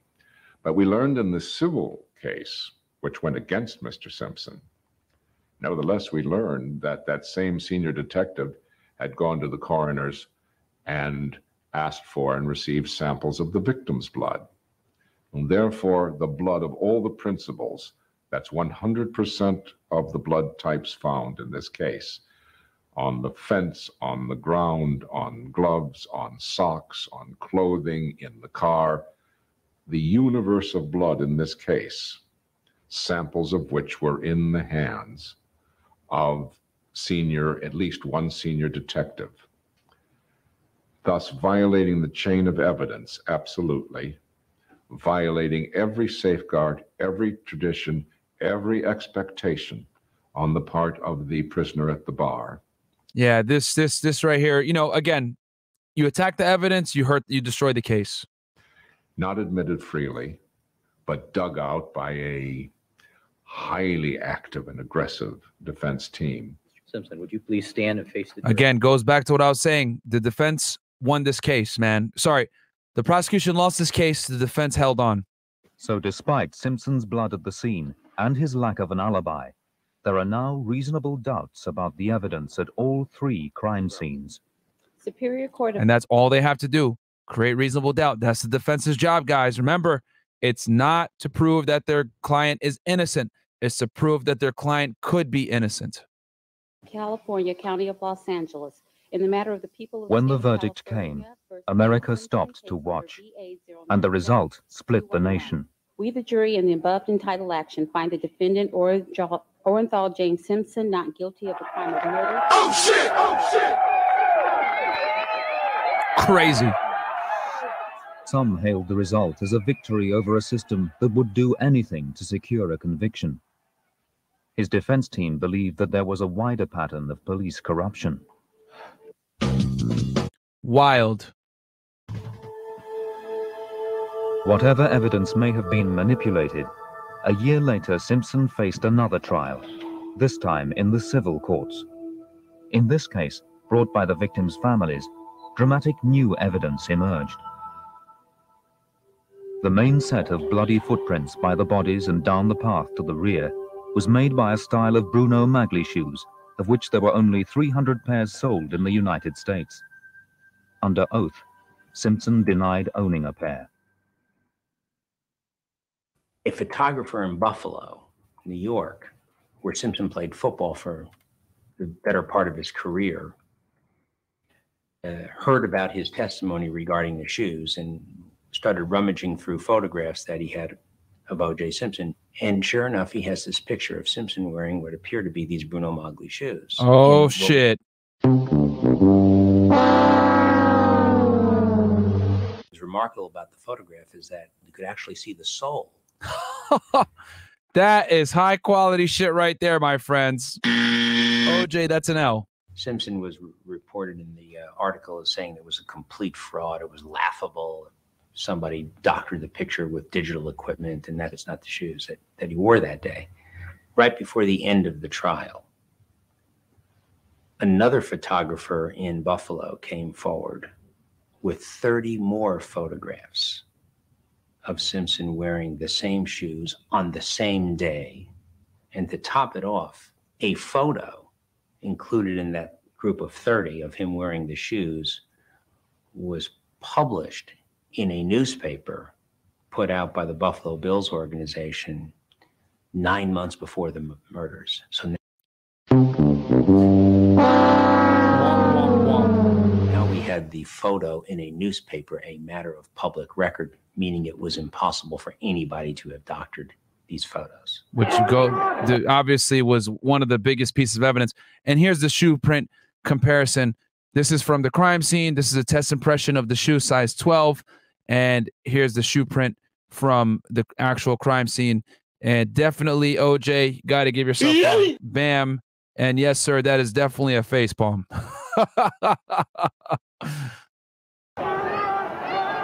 Simpson lost the case and was ordered to pay the families of the victims millions of dollars. Holy!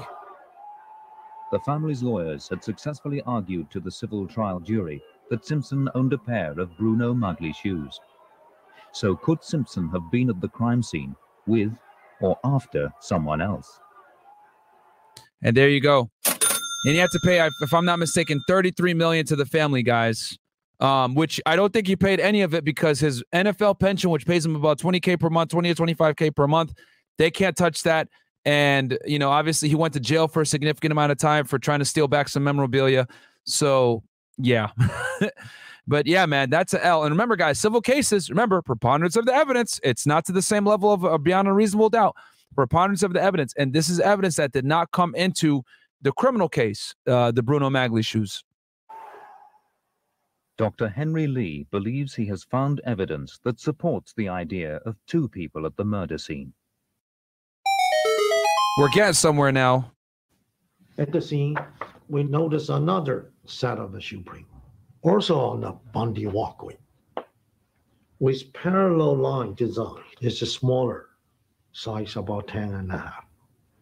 It's not one, it's quite a few, which indicative that's a trail. It's not a random deposit. Dr. Lee was told that none of the shoe prints from the police officers or other officials The closed caption and doing our boy Dr. Lee dirty. You guys might have to rewind that part. the scene matched this parallel line design. It could be a second person, another suspect. That's a possibility. Could be a witness, another possibility.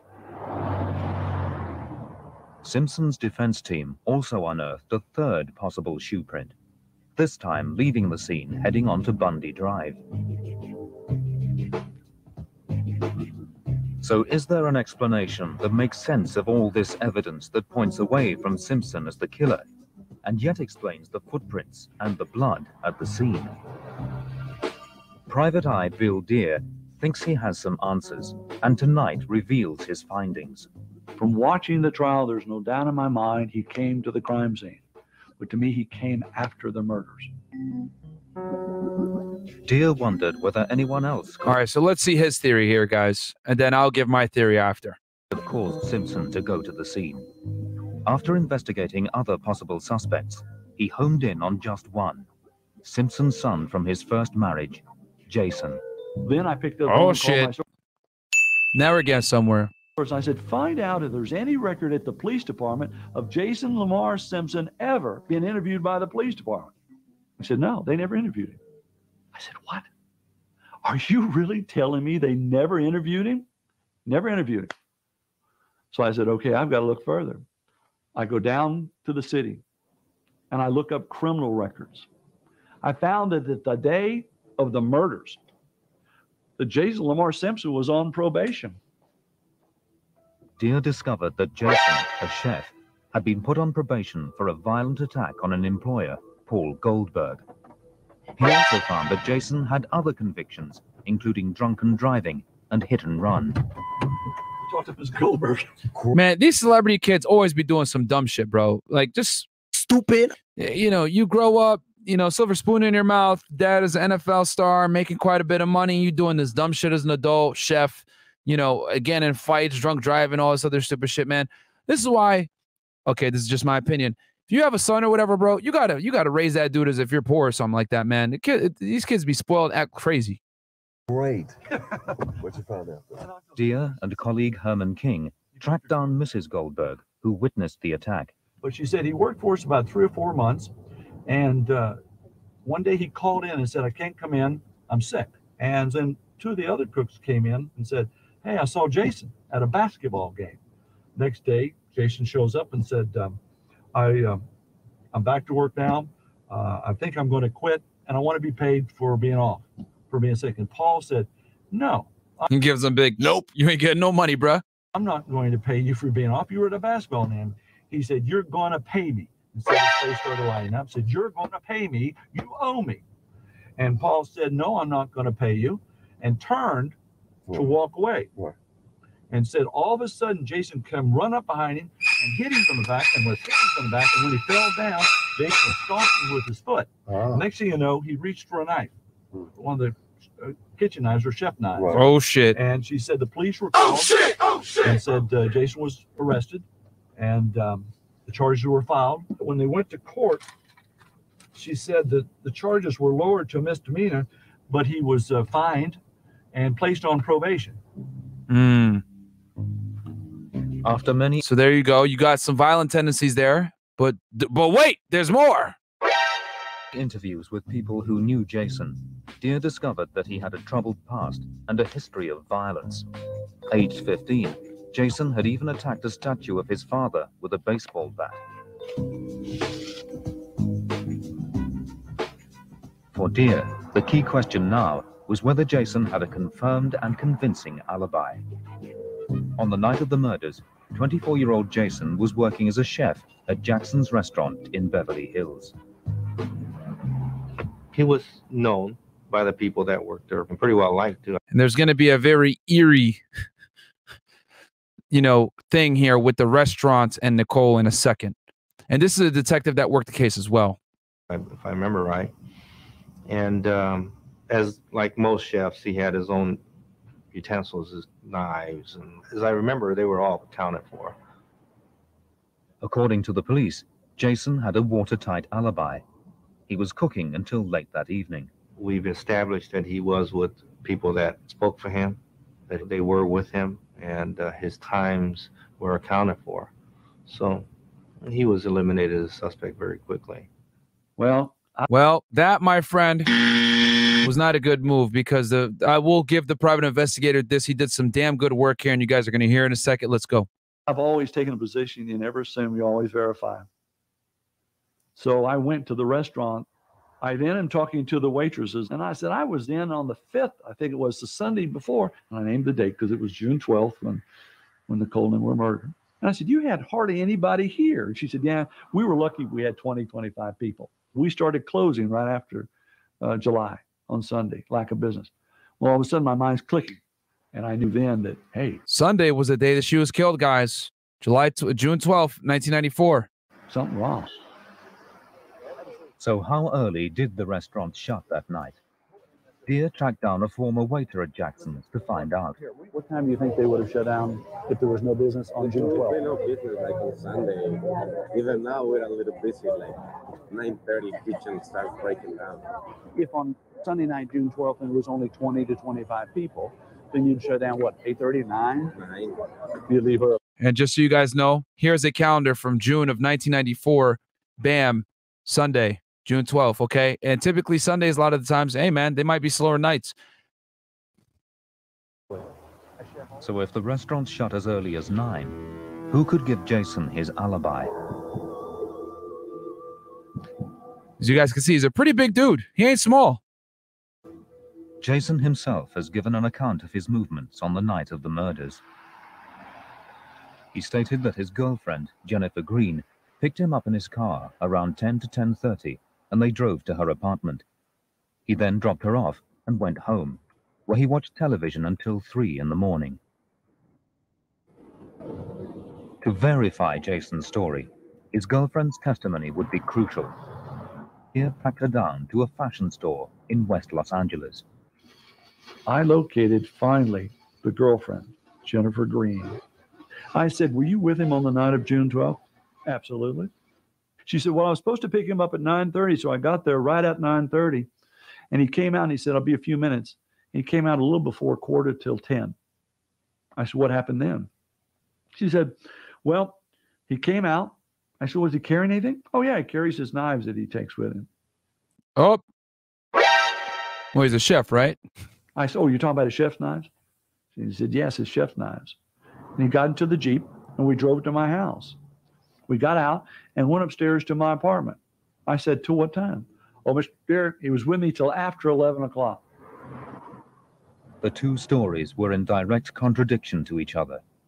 The times were different, and Jason stated that he never went up to her apartment, but Jennifer was adamant. She said, You can verify it from the time clock. You know, his time records will show what time we left. We left about 945. It was about a five minute drive from Jackson's restaurant to Jennifer's apartment, and a further 15 to 17 minutes to drive to Nicole's house on Bundy Drive. So Jason could have been at the crime scene at around 10:15 that night, which was the earliest the police believed the murders could have occurred. With doubts over Jason's alibi, Bill Dear continued. So we got we got we got some uh, questions here, as you guys can see. Like, what's going on? And just so you guys know, just to give you guys a frame of reference here, here's O.J. Simpson, okay, with uh, his fam, right? Here he is with uh, here's Nicole. Here's his two children. I don't know who this kid is, and then here's um, Jason right here. We know um, O.J. is six foot one. His son here, from looking, probably around 5'10", 5'11", Okay, bigger guy, clearly stout. Okay, has some weight on him. Not a weak guy, right? 24 years old at the time. continued to look into Jason's past, and in particular for a previous girlfriend, Dee Dee. What she said astonished him. Took me a couple years, but I found Dee Dee. And this is what Dee Dee told me. I dated him for quite a period of time. I liked him. But he had a Dr. Jekyll, Mr. Hyde personality. In fact, he tried to kill me. I went home one night and Jason was mad. I had picked up Chinese food. He threw it at me. And I ran for my life and he jumped on me and he had in his hand one of his chef's knives. He took and pinned me there and reached down and I thought he was going to kill me, but instead oh, he took oh, the knife and he cut off all my hair. Could you imagine that shit? bitch. You order Chinese? You know who the fuck I am? You order fucking Chinese? I'm a chef. Who do you think you are? I'm gonna kill you. Could you imagine that shit? How fucking mad he got? Chinese! This is an insult. Take out. You know who I am? I'm OJ's son. he probably got tight. He was like, fuck this shit. How dare you fucking get some goddamn takeout on me, bitch? I'm gonna cut your hair now.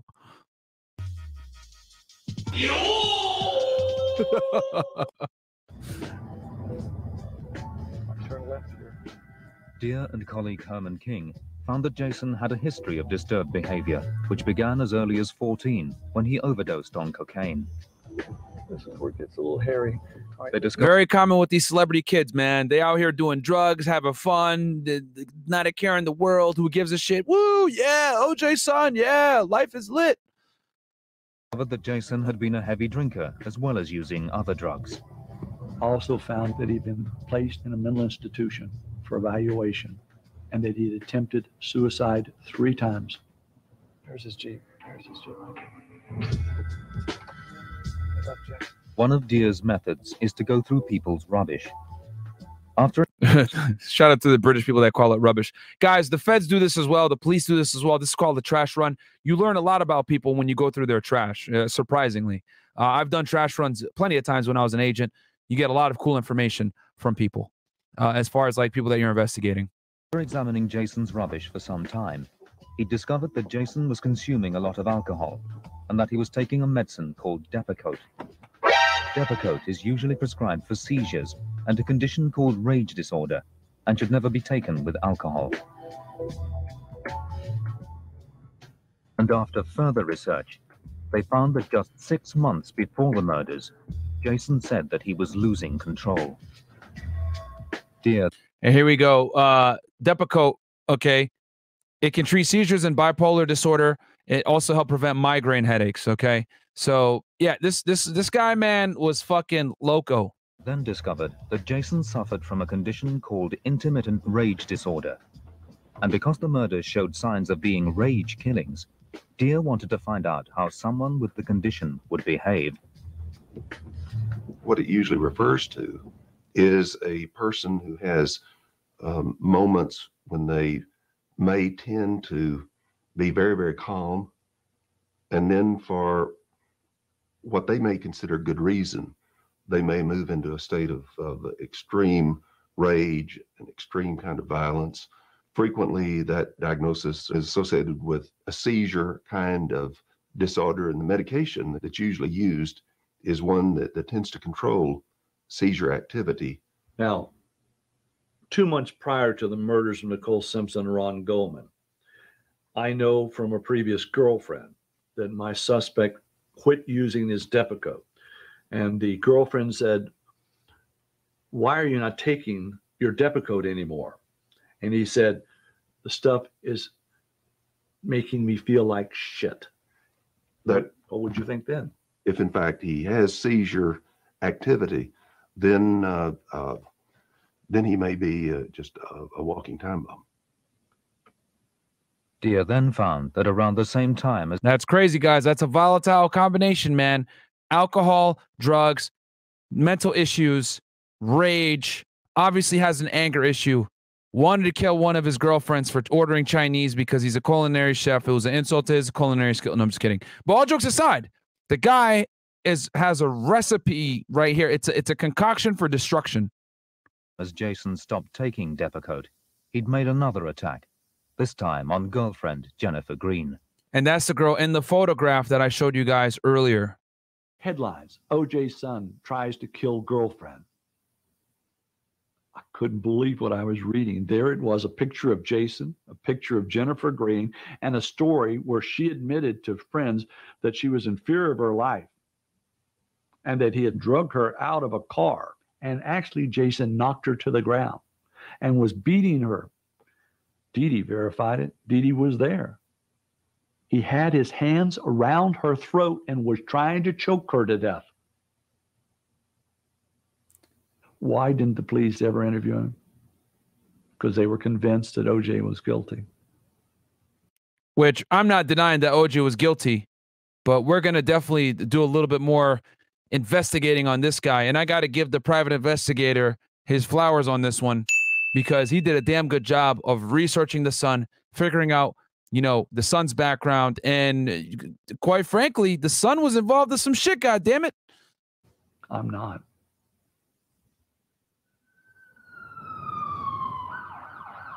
According to the police investigation, Jason had no motive. He was very quickly eliminated. He had alibis. Um, we knew his whereabouts. And uh, uh, of course, you know, we're still looking at the ability to do the crime or the motive. The alibi was weak. Motive, we're going to talk about that here soon. And, and those things have to fit. And he, he was just eliminated very quickly, actually. All right. We'll go ahead into part five. But Bill Dear disagrees. He feels that Jason did have a possible motive. On the night of June 12th, Nicole Simpson, Justin, Sydney, and her entire family were scheduled to arrive not at Mezzalunas, but at Jackson's restaurant at 8908 Beverly Drive in Beverly Hills, California, for a dinner that was being prepared by Jason Simpson, OJ's son. Oh shit. Oh, shit. Oh shit! Oh shit! But she never showed up. I wondered how it felt for a young man because in it, the question was asked, Did you ever cook for them, for them before? No. You ever cooked for your dad? For? No.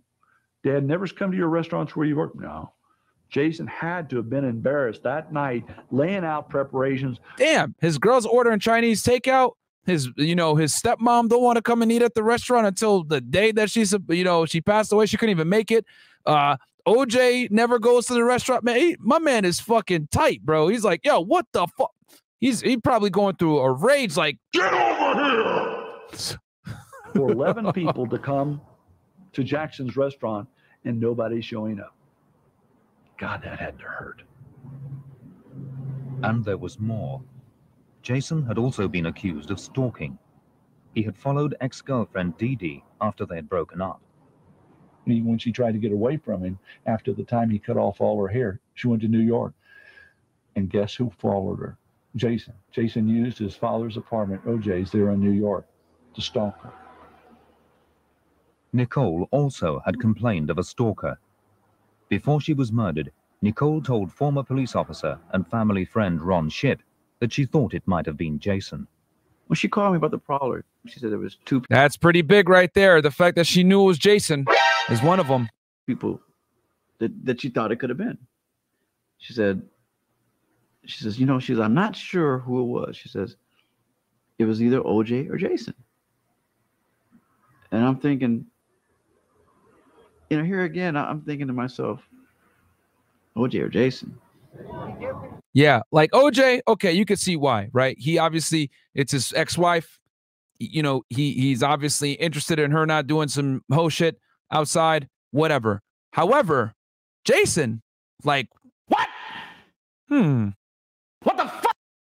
Nicole had taken Jason out to various nightclubs. Could he have become infatuated with her? I mean, you got this this guy. She's taking him out dancing all the time, and they're having a great times. And and um, but uh, yeah, that's, that's always a possibility. And and like I said, I'll never forget that her saying that to me. You know that she thought it was OJ or Jason. Jason declined to be interviewed for this film. Current I'm not fucking surprised. hey, yo, Jason, we want we're doing a documentary on uh, you and your dad. Uh, you potentially being a murderer. Uh, what's your thoughts on that? Nope. the evidence that links him to the crime is circumstantial, and there is no proof of his involvement. The police failed to examine the inconsistencies in Jason's story. But there was also another major line of inquiry that the authorities failed to follow. Believing that Simpson was the sole suspect, Okay, now we're about to get into some really crazy conspiracy theories here. All right, guys. Um, but you know what? We're here. Fuck it.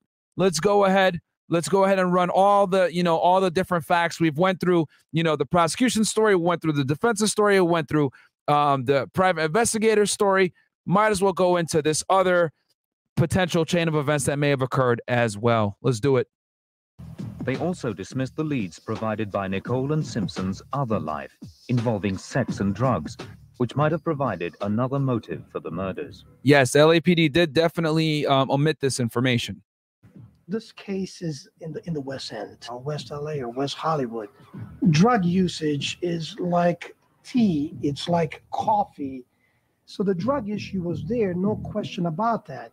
Uh, and and the rage of the way the the homicide took place could also lead a reasonable person to conclude that it's got to be somebody crazy to uh, to do something like that.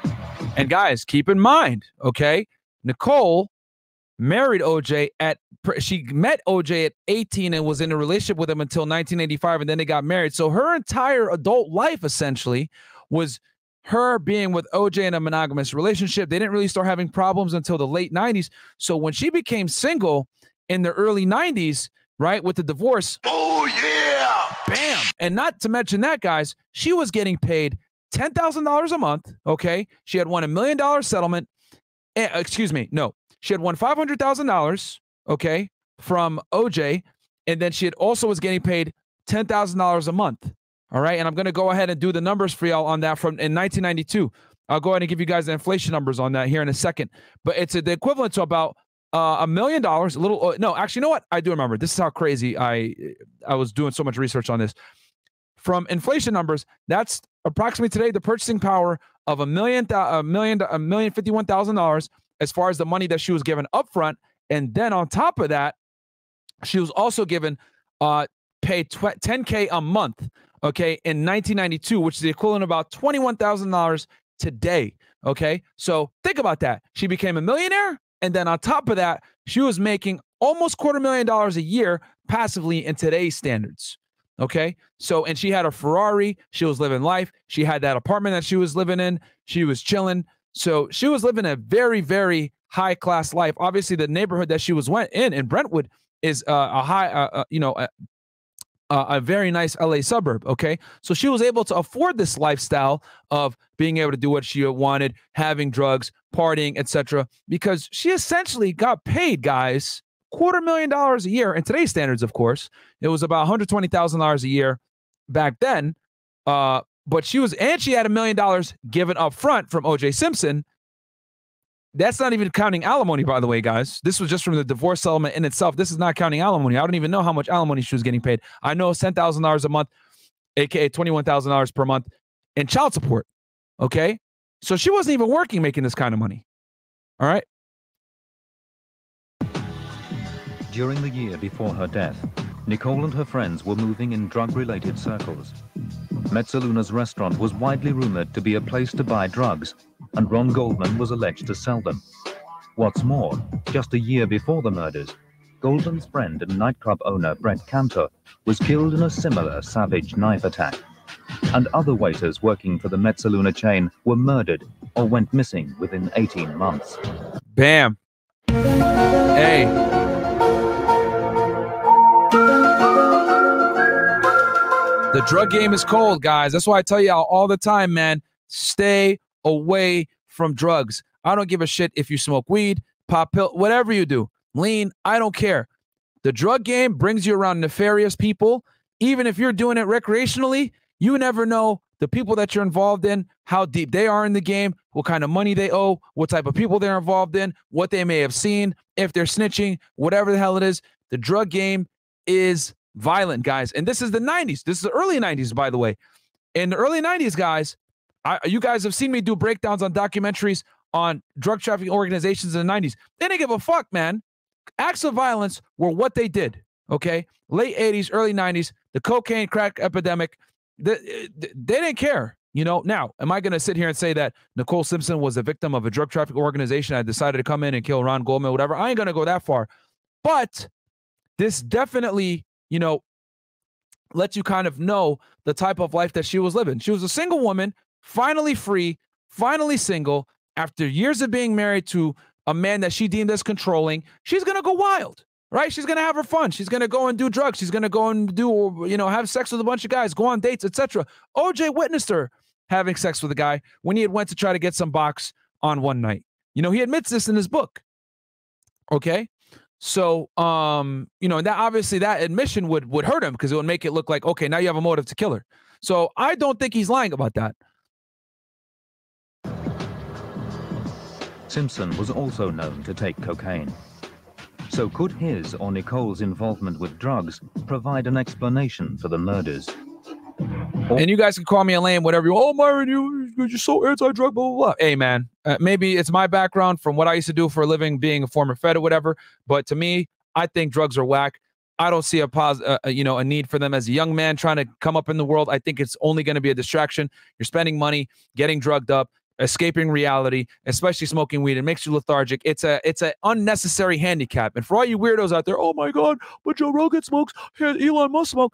Elon Musk does not smoke all the time. Matter of fact, when he smoked with Joe Rogan, he ended up getting in trouble for that. They started drug testing him all over the place because he has federally funding. Joe Rogan, I guarantee you, as he was building up his empire, probably more than likely was not a pothead. And if he was, congratulations. That's an exception to the rule. But most people that are high performers, all the millionaires that I know, including myself, none of us smoke fucking weed, okay?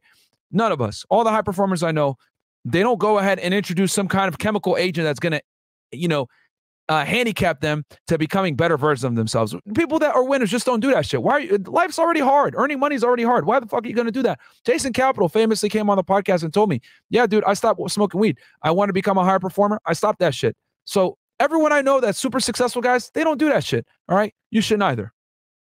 Success leaves clues, baby. Author Donald Freed believes it may shed light on Simpson's presence at the crime scene and his strange behavior. I think this is a drugs murder. I think Mr. Simpson knows basically who did it. I think his guilt is based not on what he did, but on what he did not do. I believe he feels he may have left his children as hostages to fortune.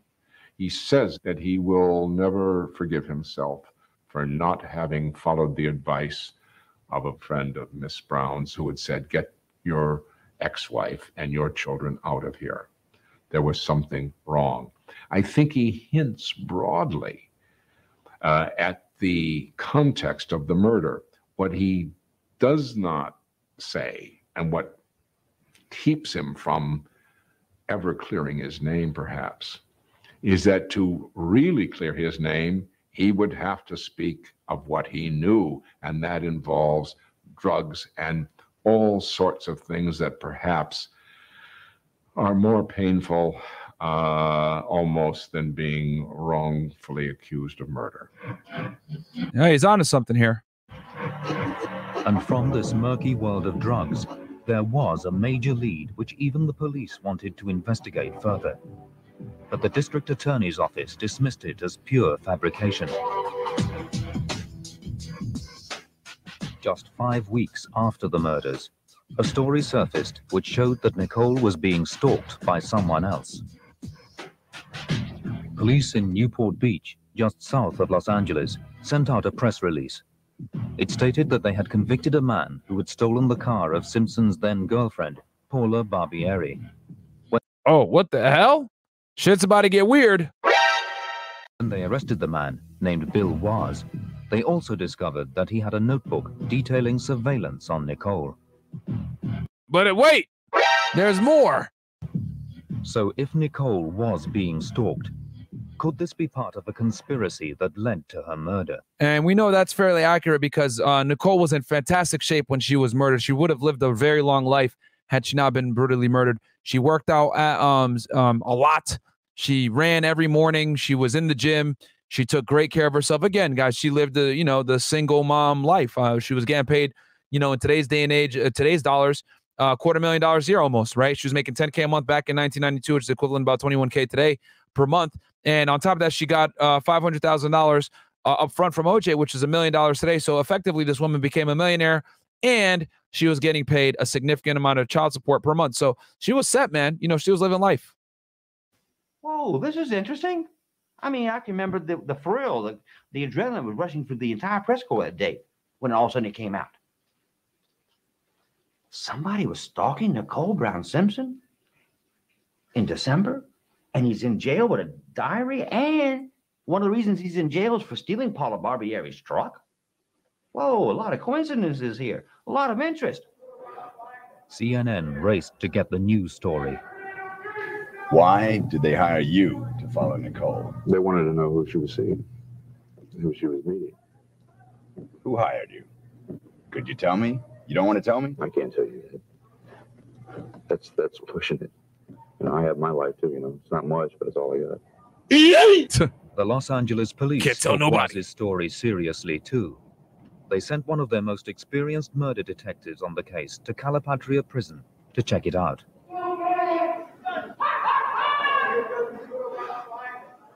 We flew down there and went in and talked to Mr. Waz. My objective with Mr. Waz was twofold. One, obviously, to get a handwriting exemplar that would certainly uh, lock it down that he was, in fact, the one that wrote that those entries, which he never denied. And the other was is to find out what was going on.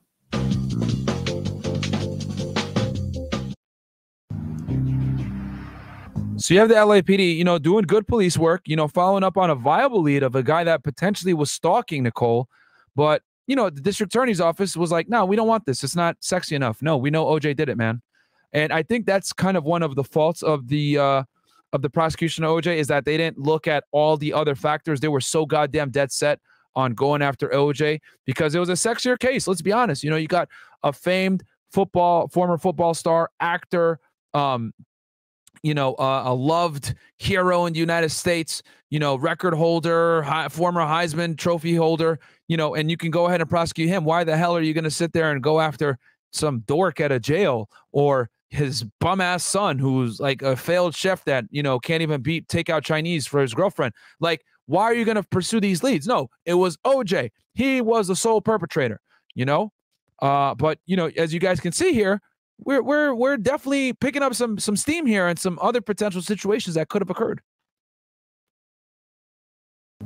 Bill Waz was also a cocaine dealer. He'd been introduced to Simpson and a close friend by one of the staff in the Roxbury nightclub. So he was selling drugs to Nicole as well. Uh, he hooked me up with some people that wanted to buy some, some cocaine, and uh, then OJ came strolling over. and You introduced himself as well. Still in prison, Waz agreed to be interviewed by telephone for this film. We exchanged numbers, and they said we'd be doing business in the future, and they, we, we did that from there, yes. I mean, they, they weren't habitual users. They were recreational users, maybe twice a week. Waz said he delivered cocaine to Simpson and Nicole at the home on Rockingham Avenue. But more importantly, Waz also says he supplied Simpson's friend. It was this same friend who then asked him to follow Nicole and to take pictures of her with any man she met. No private eye, Bill Waz thought that it would be easy money. They asked me if I would uh, do a little surveillance on OJ's ex-wife, see if she was cheating on him with uh, any individual. But she was at that time staying at the Rockingham address. I picked her up there. I followed her around for about a day and a half, and uh, I took some pictures at Tony Roma's off Ventura Boulevard of her kissing a black individual, a man who I later learned was uh, Marcus Allen. Oh shit. Oh shit. Oh shit. A former friend of OJ Simpson. Nicole's affair with American football star Marcus Allen had already caused friction. Armed with the rolls of film, Waz met Simpson's friend, who can't be named. Here's Marcus Allen right here, guys. Okay. Um, Marcus Lamar Allen is a former American football running back, analyst, and actor who played in the National Football League for 16 seasons, primarily with the Los Angeles Raiders. Okay. And uh, here he is, man. This is a former friend of OJ's. Um, and yeah, he was rumored to have uh, been sleeping with Nicole Simpson. Um, you know, he he still to this day denies hooking up with her. Um, but OJ is 100% certain. And I think a big reason why he's probably 100% certain is because this guy was probably conducting surveillance for him, you know, and rumors fly in LA. And Nicole was single, you know, so she was out here, you know, as the girls would say, single as a Pringle. So what's she gonna do? She's gonna hypergamy never ends, guys. Okay, no matter how much money a girl has, hypergamy doesn't end. And this guy, obviously, uh, Nicole has a type. This guy's an athlete, same build, same look as OJ. Eh, whatever, right? Named for legal reasons. Successful guy. So I wouldn't be surprised if, um, you know, they that he why he's so sure that he he slept with her. in the parking lot of McDonald's on Ventura Boulevard. I believe I turned over the, the film and got the cash to him at the parking lot in Encino, McDonald's. And 10 days after that, he invited me over to his house. Remarkably, the friend then asked Waz to steal Simpson's girlfriend's four-wheel drive car. Waz was told when and where to take it, even where the keys would be.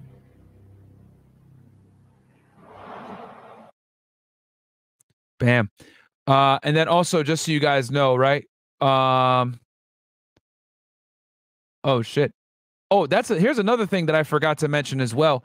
So, um, Nicole Simpson had a diary, guys, and she kept this diary because she wanted to document all the times that OJ had um, attacked her. Okay, and this diary was never used by the prosecution um, because it would been it would have been hearsay. Okay, confirmed. Nicole Brown Simpson did have an affair with OJ's best friend Marcus Allen and detailed it in her diary. And Simpson threatened to kill his wife if she saw him again one month before her death. Nicole Brown confirms in diary entries shown during the new documentary OJ made, and Made in America that she had an affair Marcus Allen. According to his former agent Mike Gilbert, OJ Simpson told Nicole one month before her murder, "You ever see Marcus again, and I will kill you." And as you guys can see here, here is OJ with uh, Marcus Allen, right? here they are, some photographs together, right? This old photo of them being friends when they were used to be friends, right? And her, here he is right here. I don't know if this is Nicole here. Okay. Care Care says the Marcus thing uh, about me. OJ says it is. I want to shrug it off. He says I'm terrible for it. I wasn't married. Should have thought of Catherine. Man, I, I think that's her handwriting. It's really tough to read. But um, yeah, that comes from her from her diary, guys. Um, so Marcus also denied the affair under oath while giving a deposition in Simpson's 1996 civil trial. so he lied under oath. Uh, Catherine appeared to be appeared on the Real Housewives of Beverly Hills last season and denied the affair between her ex and Nicole.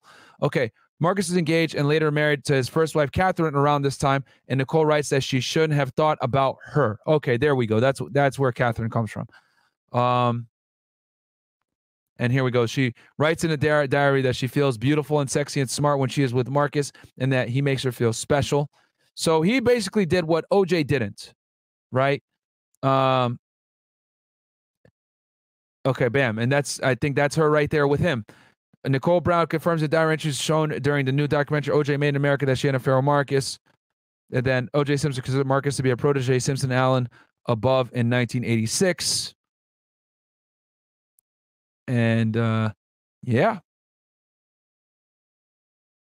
See, man, this is why y'all gotta you gotta be able to get over women quickly, man. And this is his wife, Catherine, in 1992.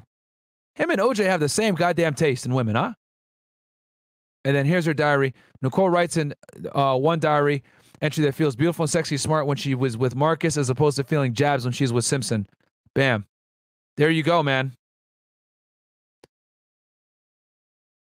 Here's her diary that they never put into uh, evidence for the prosecution. And like I said before, because it's hearsay, she wasn't alive to testify to it. But a law actually came out after the OJ trial, guys, that allowed um, for diaries to be used in cases like this of domestic violence. Okay. So that actually sets some uh, legal precedent as well. So okay, let's uh go back here to the to the documentary. Shortly after stealing the car, Waz was arrested. And guys, do me a favor. Please like the video because I did a lot of research for this video. As you guys can see, I'm bringing stuff off the top of my head from all the research that I did. This stuff takes a lot of time. Um, and honestly, I do it for y'all. This channel isn't really made to make money. It's made to, you know, grow the channel, hit, hit 100K, get a plaque, flex on some haters. You know, I do this out of enjoyment because I really do enjoy breaking these cases down. Right now, as a matter of fact, it's 7:56 in the morning. I still haven't slept, and we've been going now for about two and a half hours, man. So, but I do it for the love of the game, guys. Do me a favor, just like the video. I did a broadcast earlier. Check that out with the Trump uh, a search warrant breakdown with my boy Legal Mindset, aka Andrew Esquire, and uh, you know we just keep on steaming along, baby. Arrested and jailed for 20 years for a series of armed robberies. But clearly, he knew more about the operation. After getting the basic details, Detective Bert Luper wanted to know who'd hired him. I asked him, well, you know, who are these people? Were they friends of OJ or, you know, well, they're close to OJ. And then he starts asking me some questions. Waz asked Detective Luper how much he knew about this particular friend of Simpson's. Well, maybe you should look into his background. Uh, maybe you should be looking into his friends. Well, if you're listening to what he's telling you, then the connection back to OJ is there. All right. So why would OJ That guy has an epic mustache, by the way. Want to follow Nicole, and why would OJ's friend hire this dope dealing drug addict uh, to do it?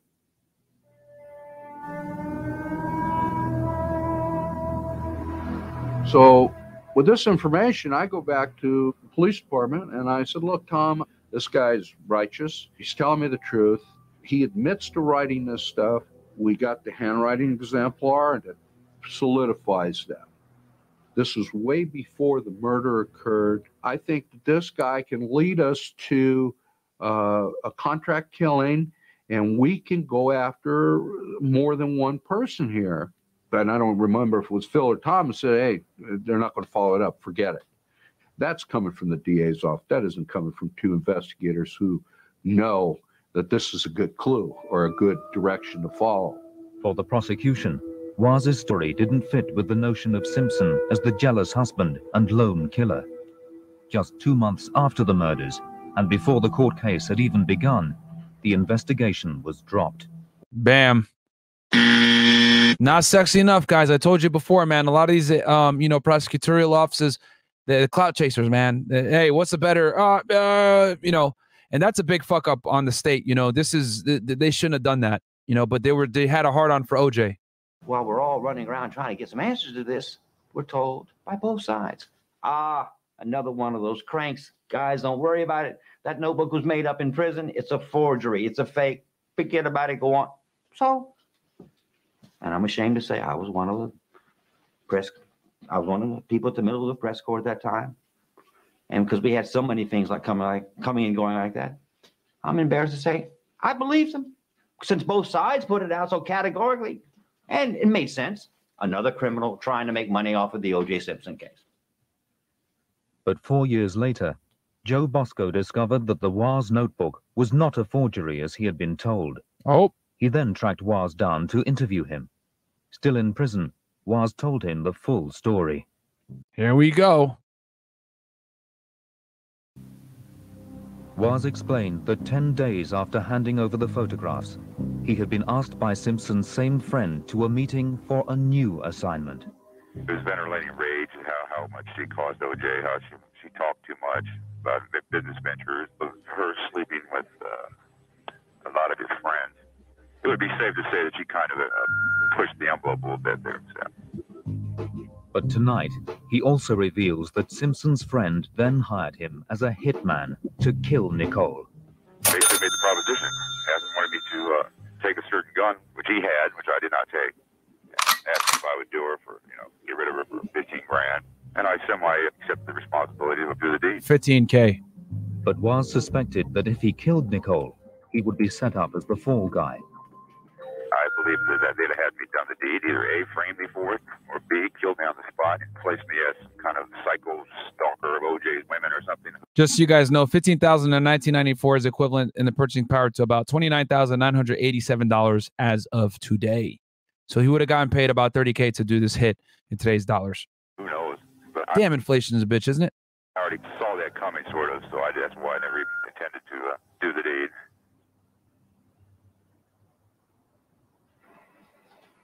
Bosco then approached Bill Hodgman, the director of special operations in the district attorney's office, who had worked on the case. And I said, Bill, you remember the Waz story? Is it worth following up on? Is it, is it worth my time? And Bill Hodgman said something I'll never forget. He said, Joseph, if they gave me a paid leave of absence, I would do nothing but work the Waz angle. Oh shit! Oh shit! That's where this crime would have been and can be broken. Bosco then brought in a former senior prosecutor to act as Waz's lawyer, who needed to be convinced of his client's story. I wanted to really get inside of his mind. He's a very awesome, intimidating individual. And I wanted to look him in the eye, so to speak, and see what's in it for you.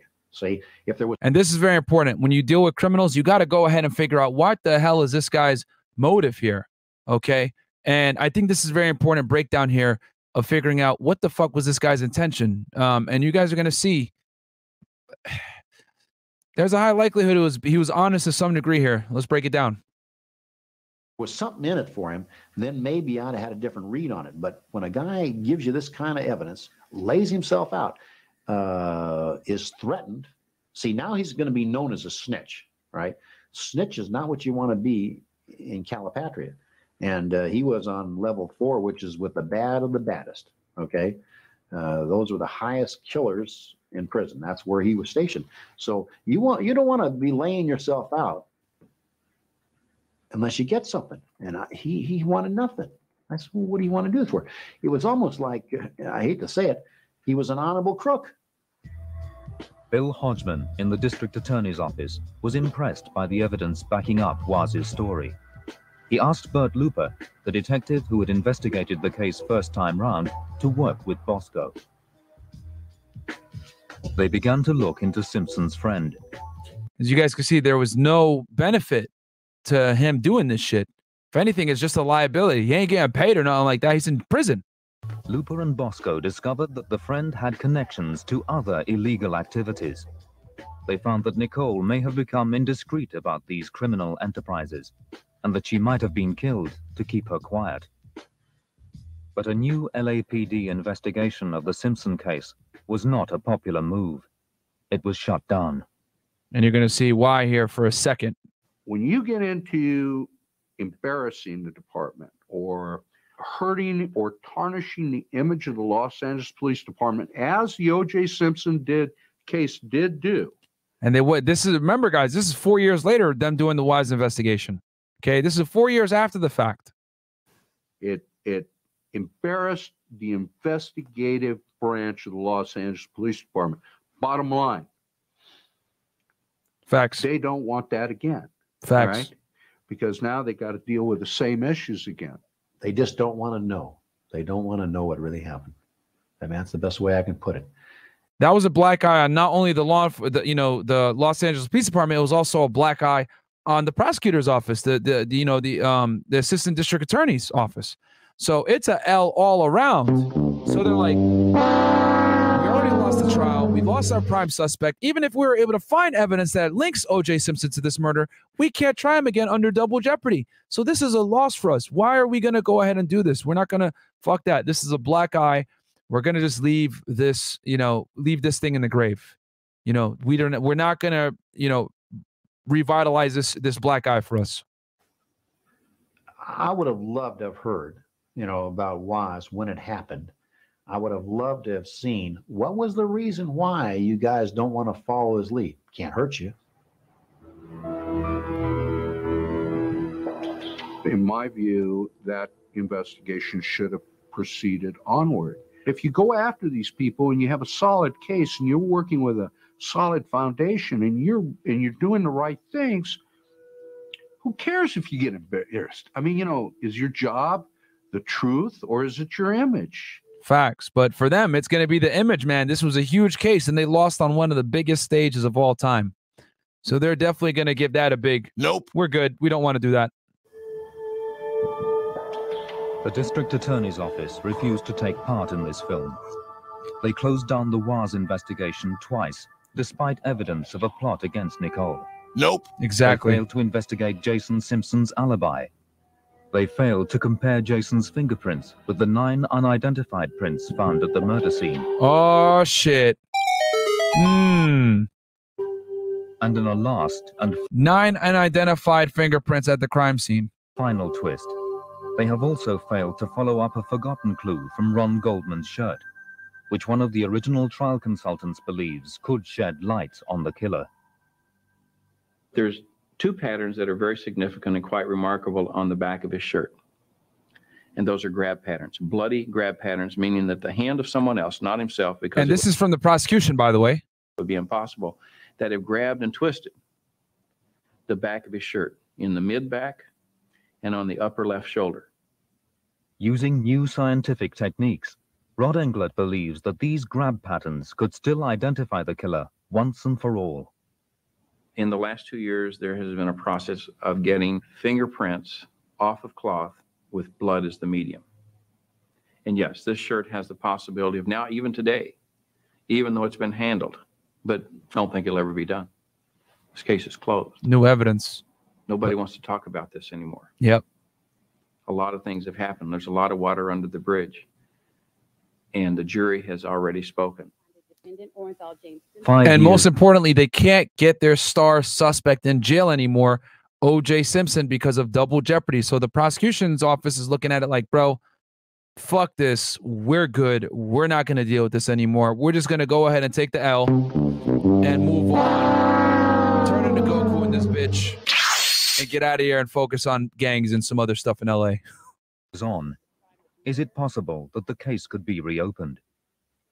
It's clear from the new leads revealed tonight that a new investigation may be able to solve the crime. With accusations of corruption within the Los Angeles police forcing the reopening of hundreds of other cases, the truth about the deaths of Nicole Brown and Ron Goldman could still be told.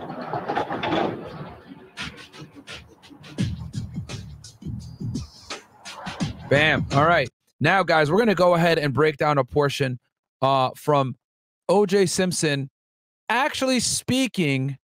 Actually, you know what? Let's go ahead and take a, a trip down um, memory lane here. Hey guys, welcome back to a new video. Today we're in Brentwood, California at the site of the OJ Simpson murders. As now, you guys if you believe see, that OJ did it, this Yeah. is where it happened. If you don't believe that, nobody knows for sure. Now, this garage door on the left was Nicole Brown Simpson's, and the gate right next to it is where supposedly OJ went through and uh, killed both Nicole and Ron Goldman at the far end, up by up by the front of Bundy Drive. Now, this is 875 Bundy Drive, or it was when the murders happened, but now it's 879 Bundy Drive, just to kind of keep people from coming and visiting this location. because there was a bunch of people going back and forth trying to check that place out. Now let's go to the second. Uh, actually, hold on. He's going to go to the front of the house now. Now, OJ Simpson and Nicole had a pretty rocky relationship towards the end, but they were both active in their kids' lives. But up here, just around the corner, is hand side. It's the first one here, closest. So they the completely changed it. But this is not the original doorway. The original doorway was just to the right of this, and I'll show you that in a couple. So this is a lot of people mistake that as being the original. This is the original building, but you're gonna going to see here in a second. right second. here. So now, this, this, is the original walkway, and Nicole was found just on the other side of this mesh fence here. Now, this whole walkway was torn up and taken out, and the new walkway, as you saw, was to the left of this now. But this was the walkway that was here. I don't think any of it is still original, although the stairs right there could be. But this is this was the crime scene right here. Now, if you notice on the very left side of the photo, the palm tree that the uh, crime scene ribbon tape is tied to is just to the left of the walkway here. That tree is still there. This is today. And that's the same tree. So that there you go. You can use that same reference and this hole right here as well. puts the walkway just to the right of that tree where there is no walkway anymore. And this little slab. Now, in this picture, if you look to the bottom of the screen just in front of the police car, the some it's still right here. Bam. Same so as you see from these pictures, the original crime location, the walkway, was just to the right of this palm tree and just This to the area right here. left of the drain down here.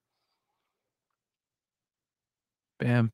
so it's photo. obviously not in the same location. A lot of people seem to think that it's still um, the current walkway that's in there if you walk by, but it's it's been torn up for a while now. Now this is what it looks like now. It's just to the left of this uh, white door here. So you really can't see anything at all from where it actually was. Yeah, At least not from it. the outside. Now here's the mezzaluna. Now, here's the other part of this. The last place that Nicole Simpson was before she went home was Mezzaluna Restaurant. This used to be Mezzaluna Restaurant, and obviously it is no more because this is LA and everything gets torn down or goes out at some point. But this is where she had her last meal. She dropped her glasses inside. Her friend Ron Goldman was a waiter here. He picked up the glasses and brought them back to Nicole's apartment after his shift ended. And had had she not uh, lost her glasses here, maybe Ron Goldman still would be alive today. We don't know.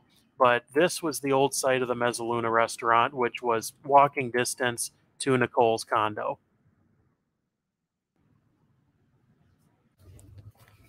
Now, for the final Yeah. And this is where Ron Goldman lived, which was right very close to her. Um, okay. So now that we got an idea, now this is gonna make more sense, guys, from OJ Simpson. He's gonna talk about uh he's gonna actually talk about the murder here. And this is an interview he did back from 2006. First and only time he ever talked about the murders to promote his book, If I Did It, which is hilarious. Um, where he actually talks about a hypothetical and where he, you know, if he actually did it, how it would have went, which is actually very telling. I consider this more of a confession, and it answers some, you know, long-standing questions as to how this guy actually pulled this shit off. So uh let's get into it, man. From his own mouth. Pause. O.J. Simpson never took the stand at his criminal trial. And Well, for obvious reasons. I mean, that would be stupid. No defense attorney, especially the dream team that he had, would be dumb enough to put their client on the stand. and has never given an interview about his actions on the night of the murders. That is, until now. Listen closely for the next six uninterrupted minutes. Here we go. OJ puts himself hypothetically at the scene of the crime. Um, the chapter, chapter six, is called "The Night in Question," Mm-hmm. uh, and you write in the book. Now, picture this, and keep in mind that this is Purely hypothetical. hypothetical, Hypothetical. yes. Why don't you tell me what might have happened on the night of June twelfth, nineteen ninety-four, and let's just walk Yeah. through the night. I, well, first of all, it's, this is very difficult for me to do this. Uh, it's very difficult for me because it's hypothetical.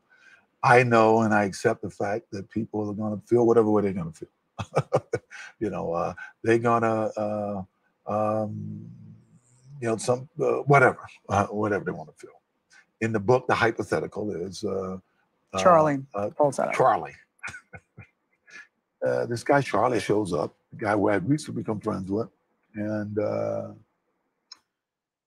I don't know why he had been by Nicole's house, but it told me you wouldn't believe what's going on over there.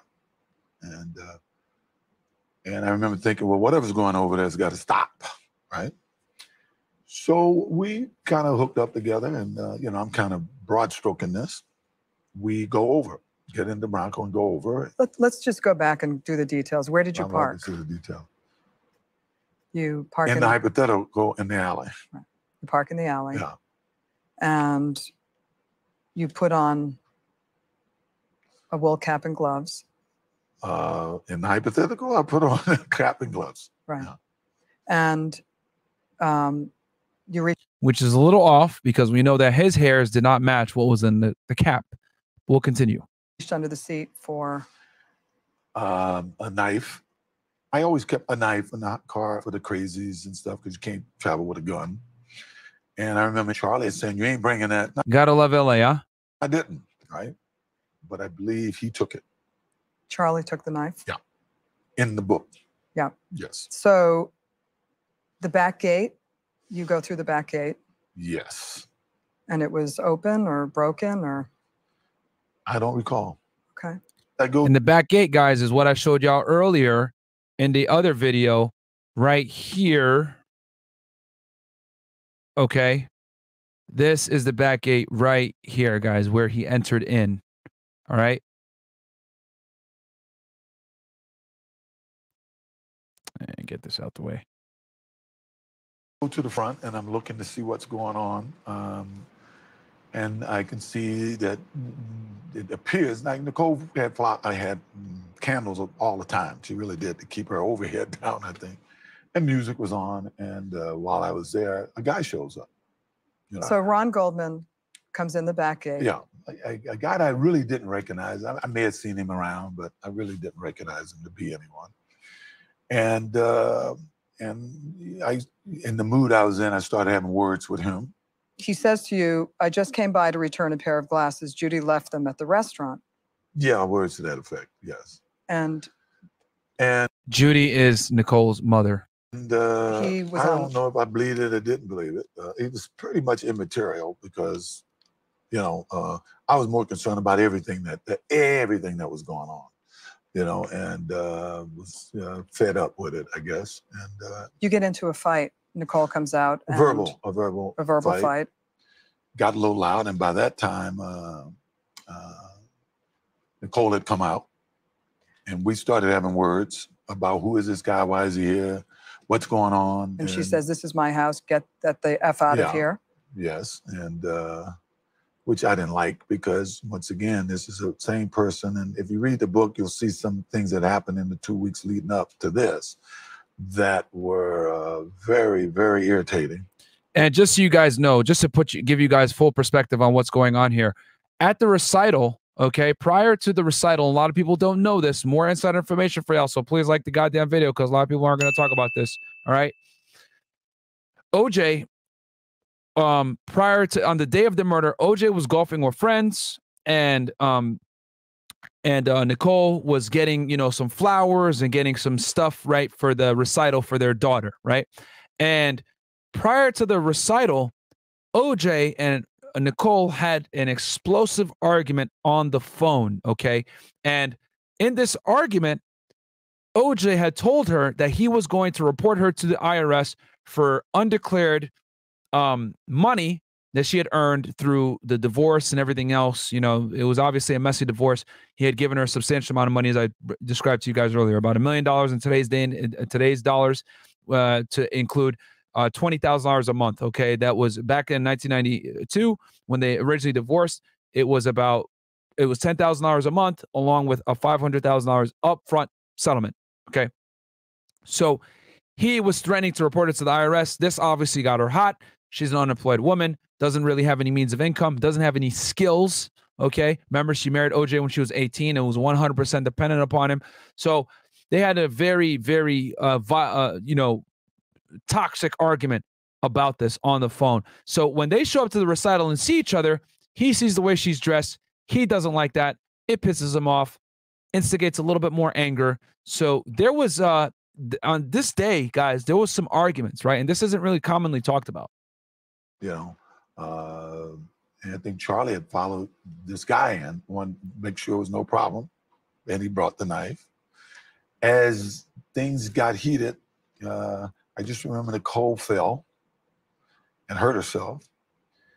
And Uh, you mean Charlie hit her upside the head a couple of times, s- extremely hard. and, uh, this guy kind of got into a karate thing. And I And we're going to talk about who we think Charlie is here soon.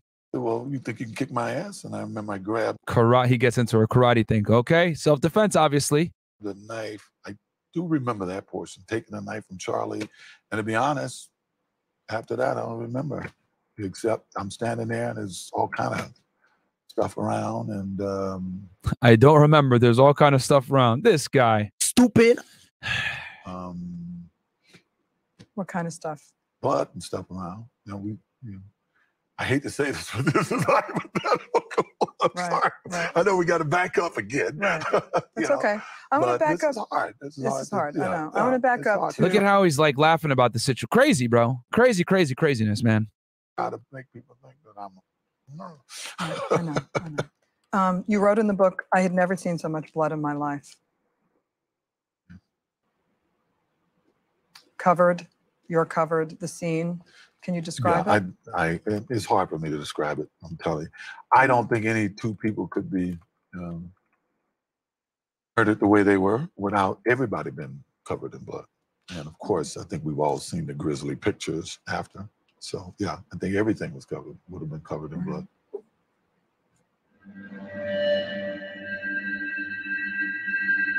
And what goes through your mind at a time like that? I don't know. It's like, uh, what happened? You write about removing a glove before taking the knife from Charlie? Uh, you know, I had no conscious uh, memory of doing that, but obviously I must have because they found the glove there. And blacking out. Have you ever blacked out before?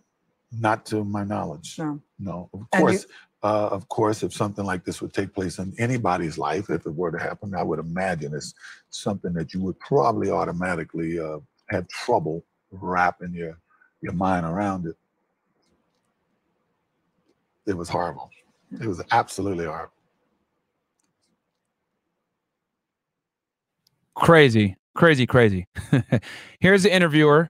Here's the pro- one of the prosecutors, Chris Darden, that was involved in it, and this is an FBI profiler right here um, on body language and uh, criminal mindset. First thoughts. Eve, it's hard Oh, and this is uh, one of Nicole's friends. for you to even breathe. I've been watching you as you watch this. I have nothing to say about this. Absolutely nothing. Chris, Well, I think he's confessed to murder. I think he's confessed to murder. And uh, if I'd known he said this in 2006, I would not have ob- objected to the release of this video. Yeah, so this video didn't get released, guys, until years later. Um, and uh, you know, because obviously they objected to it, they didn't want him to profit off of the death of Nicole. So it was never actually released, and this is the first time. So this is um several years later after the fact. I don't think that there's any question of his involvement and um, and that he is the person who is wielding the knife. I mean, he may try and describe it as a hypothetical, but of course, it becomes I. I did this. I felt this. I saw this. Um, And they can't prosecute him. Double jeopardy, United States, my friends. Once you're acquitted of a crime, can't come back after you for the same crime. This notion of Charlie, I think Charlie is OJ. This is no hypothetical. Hmm. This is reality. Judith, who the heck is Charlie? I don't know who Charlie is. I wanted No, she aged fantastically. The wall takes no prisoners, guys. to talk. For me to start interrogating him and pushing him, I felt he would get more agitated and he kept threatening to leave and not to finish the interview. And I really wanted him to stay. And that was a good move on her part. Let's listen again to this disturbing portion of the interview. I remember I grabbed a knife. I do remember that portion, taking a knife from Charlie.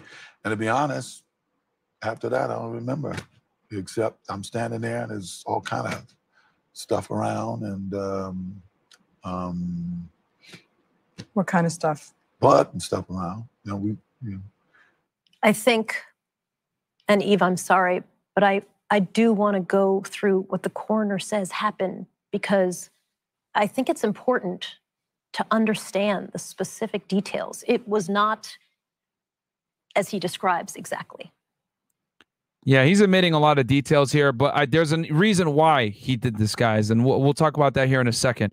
Um, also, real quick, I think this is a very important moment in the trial. Speaking of gloves, um, and this again leads going to lead to my theory uh, that I'm going to bring you guys, but it's very obvious that OJ did not do this by himself. He even admits it. Uh, as you guys can see, this is the famous glove test that Christopher Darden himself, this prosecutor right here, probably one of the biggest mistakes he ever made in his prosecutorial ca- career, allowing OJ Simpson to test the gloves on.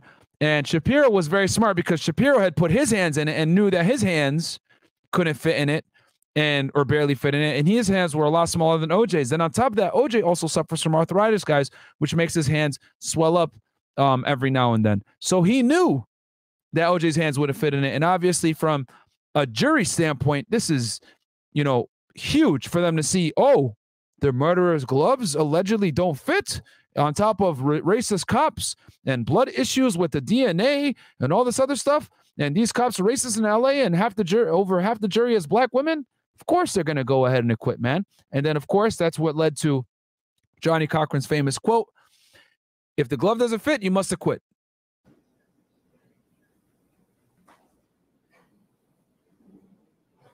There's Darden right there, a much skinnier Darden.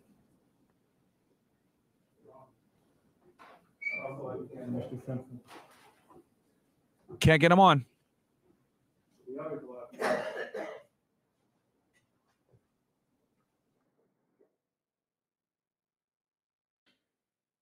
This is uh, People's 164A. Is that the right-hand glove? Yeah, All right.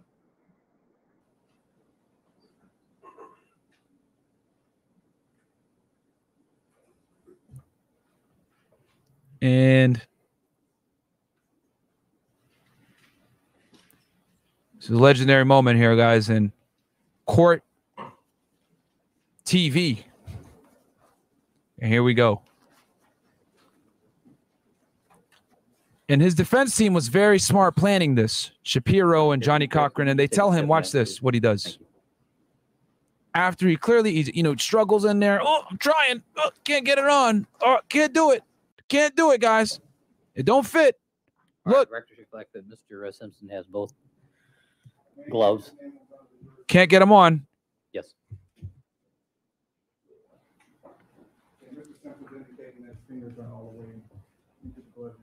right? And then bam, he holds the hand, the, the glove. This is this is a you know historic moment right here, guys, in American criminal justice system. He holds his hands up with the gloves to the jury. Look, guys, they don't fit. I'm not the killer. All right. Thank you, counsel.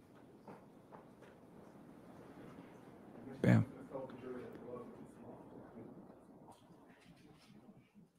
Johnnie Cochran is just like, Gotcha, bitch. and then you can see Shapiro right there in the corner.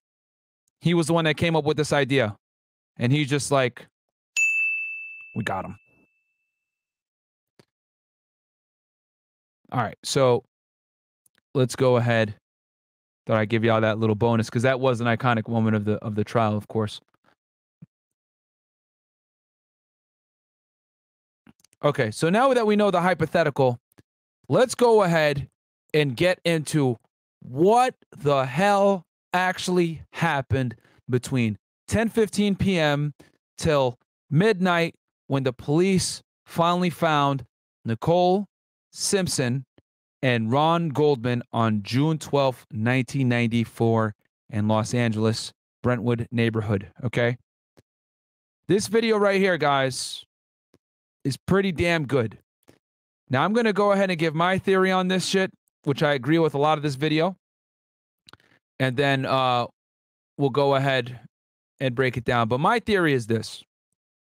We know, right? Or actually, you know what? Hmm. Audible. I'll go ahead and play the video for y'all, and then I'll give my theory at the end. Let's play this video. Because I agree with some portions of it and disagree with some others. But this is this one pr- brings some pretty damn good information. You have your discretion advised, guys. Case number BA 097-211. We, the jury, in the above entitled Oh. FYI, this trial took 10 months, by the way, guys. It ended in October, but it started in like January. All right. Crazy. The defendant, Orenthal James Simpson, not guilty of the crime of murder. I forget exactly when it started. It started early. You know, I'll look it up real quick.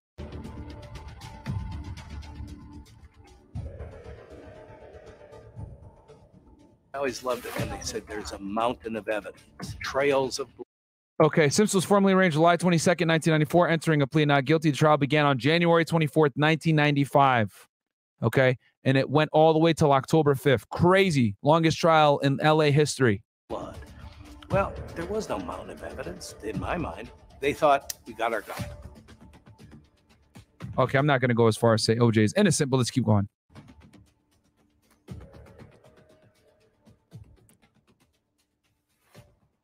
This does make some compelling arguments, but OJ definitely ain't innocent.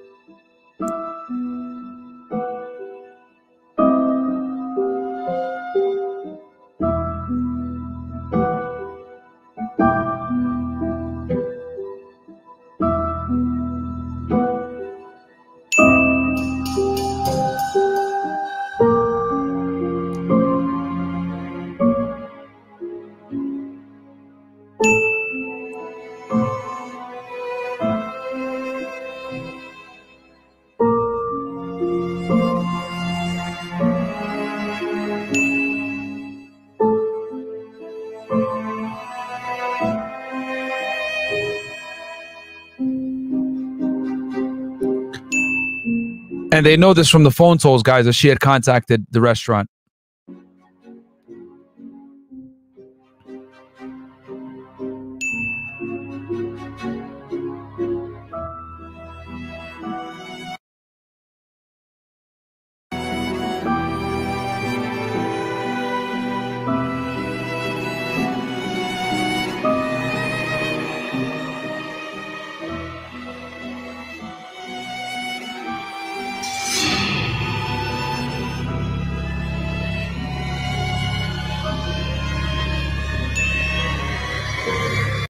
Pablo Fenjves, a neighbor of Nicole Brown Simpson, is watching TV. Crazy stuff.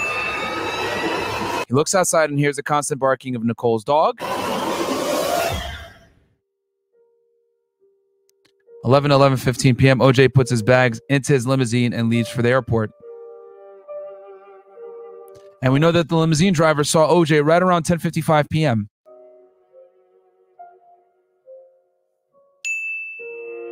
OJ leaves on a flight to Chicago where people reportedly saw a cut on his arm. Saw no cut on his arm. Okay. O.J. Simpson does not have time to slaughter his wife, be surprised by a guy half his age, stab that guy a bunch of times by himself, and get away with everything.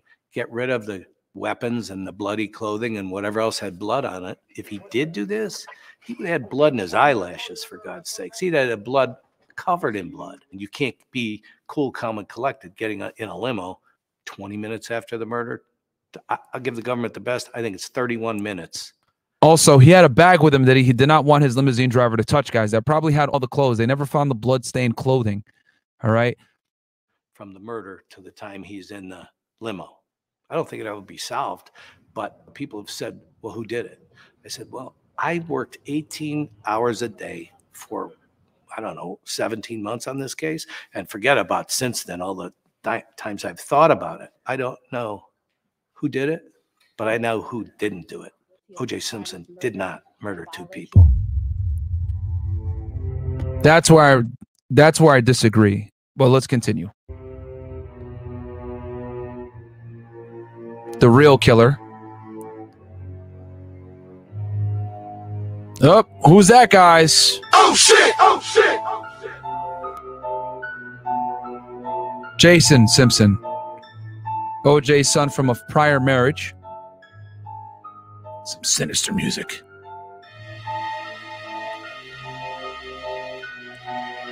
So after the divorce, he was expecting her to go back to his mom.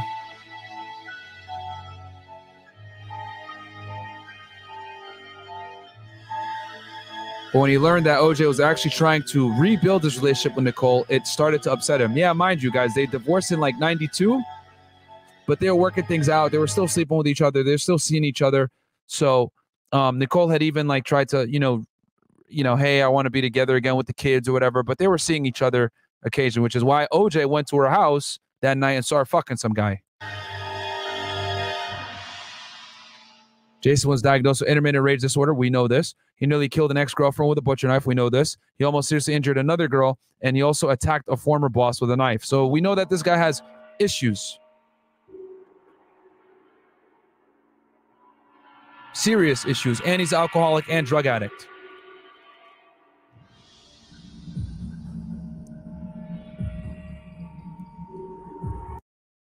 Nicole was, hold on, what did I say? Nicole was supposed to arrive to Jason's restaurant on that night. Yes, as you guys know, she had bookings for that restaurant. Jason wanted to speak to Nicole, but she canceled at the very last minute, which would have been enough to anger Jason in the mental condition he was in. Not to mention, his dad was already pissed off at her as well. They had a heated argument about the IRS, which I told you guys before.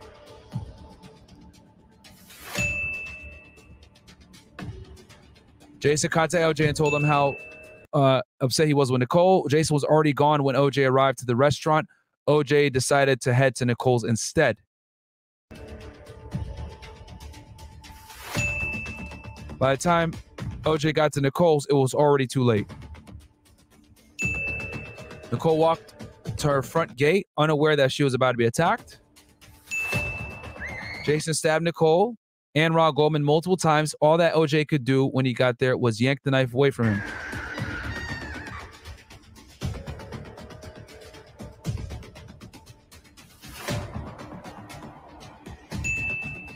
According to one of Jason's ex classmates, Jason was trained in hand to hand combat as well as knife training while attending the Army and Navy Academy. And he was a chef, had a bunch of knives.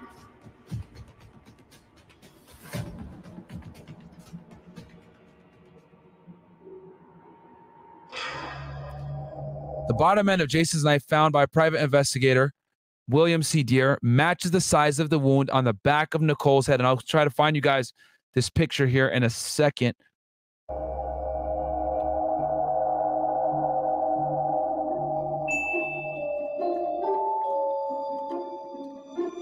The bottom end of Jason's knife found by private investigator uh, matches the size of the wound in the back of Nicole's head. It was found at the very bottom of a storage locker owned by Jason.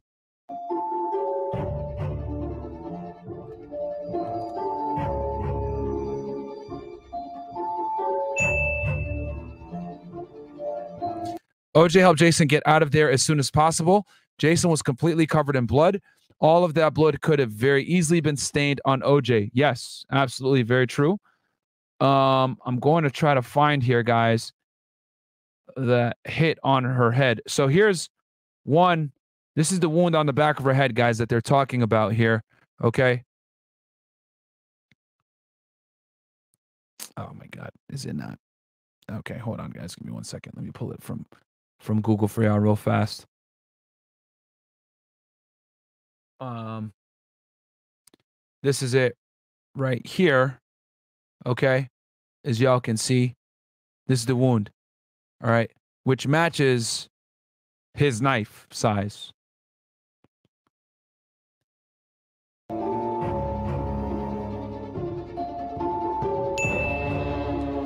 Which explains the bloodstain found at OJ's Bronco. And remember, guys, the blood in the Bronco was awkwardly placed in a center console, which is more indicative of a passenger sitting on the other side getting the blood in that weird place. This is why OJ was more concerned about asking who did it when the police contacted him the next day. He was worried for Jason.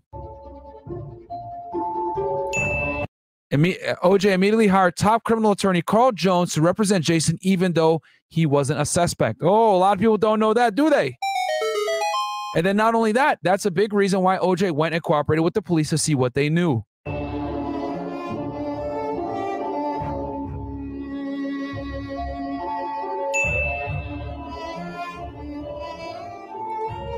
Crime experts believe that Jason should have been a major suspect in the investigation. The murders took place between 9:45 to 10:05. Nobody knows about Jason's whereabouts after 9:50 that night. I would say the murders probably took place anywhere between, you know, later. It could have been from 9:45 all the way to hell. I would say, you know, 10 10:40 ish. Guys, mind you, look at how close. Okay, I showed you guys this earlier, but I'll show you one more time. Look at how close um your boy OJ lived to um, Nicole at the time. Okay. We're talking about a five minute drive, two miles. Okay. So he could have easily gotten him out of there quickly.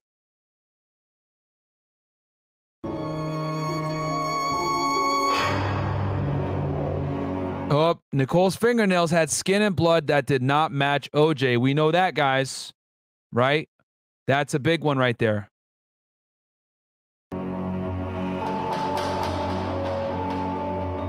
The LAPD forgot to mention they, they they didn't, you know, make a serious note of that, which I thought was extremely strange. You know that they didn't pursue that.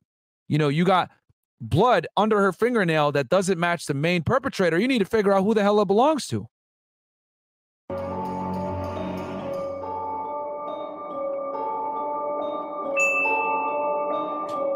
A black Navy cat found at the crime scene had hair and animal fibers that did not match OJ. So two things now that didn't match OJ, guys. OJ never wore any caps. This is true. You don't see him wearing hats often.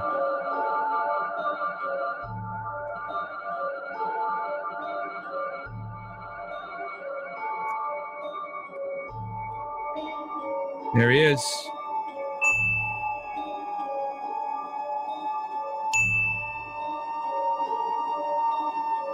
Jason was photographed wearing a different colored cap weeks after the murders.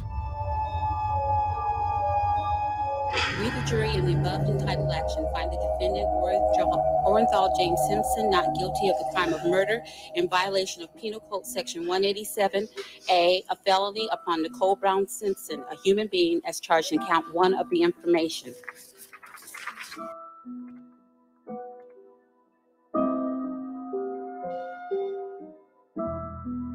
All of OJ's children are excited for his release, all except Jason. He felt guilty for putting his father through hell.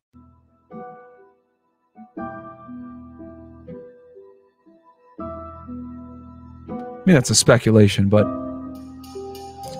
OJ tried to explain that everything that Jason did in an interview, he changed Jason's name to Charlie so that investigators wouldn't look into him.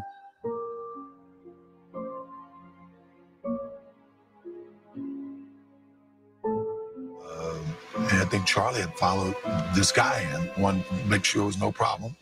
Then he brought the knife. As Jason brings the knife, things got heated, uh, I just remember Nicole his chef knife, fell. which matches the wounds. Jason attacks Nicole exactly because he just said Nicole fell randomly. What the hell? That don't make sense. Come on. and hurt herself.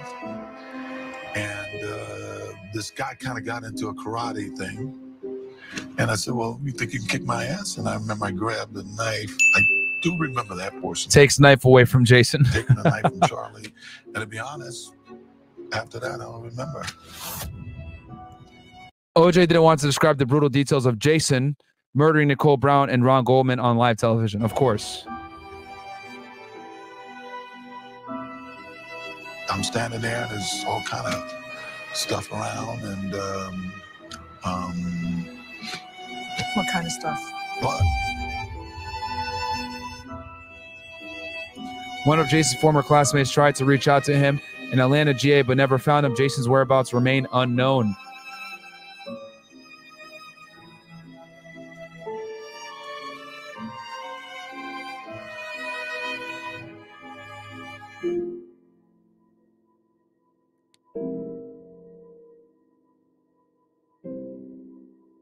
He's 52 years old now, guys.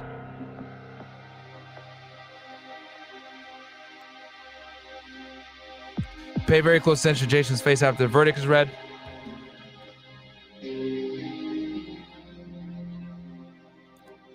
He hasn't displayed any emotion like the rest of his family is, and there are clearly no signs of any tears on his face.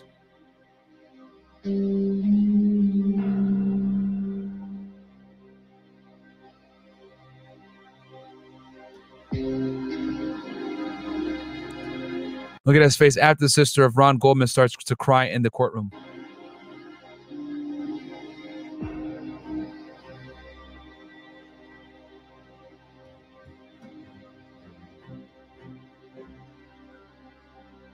Now he's crying like crazy.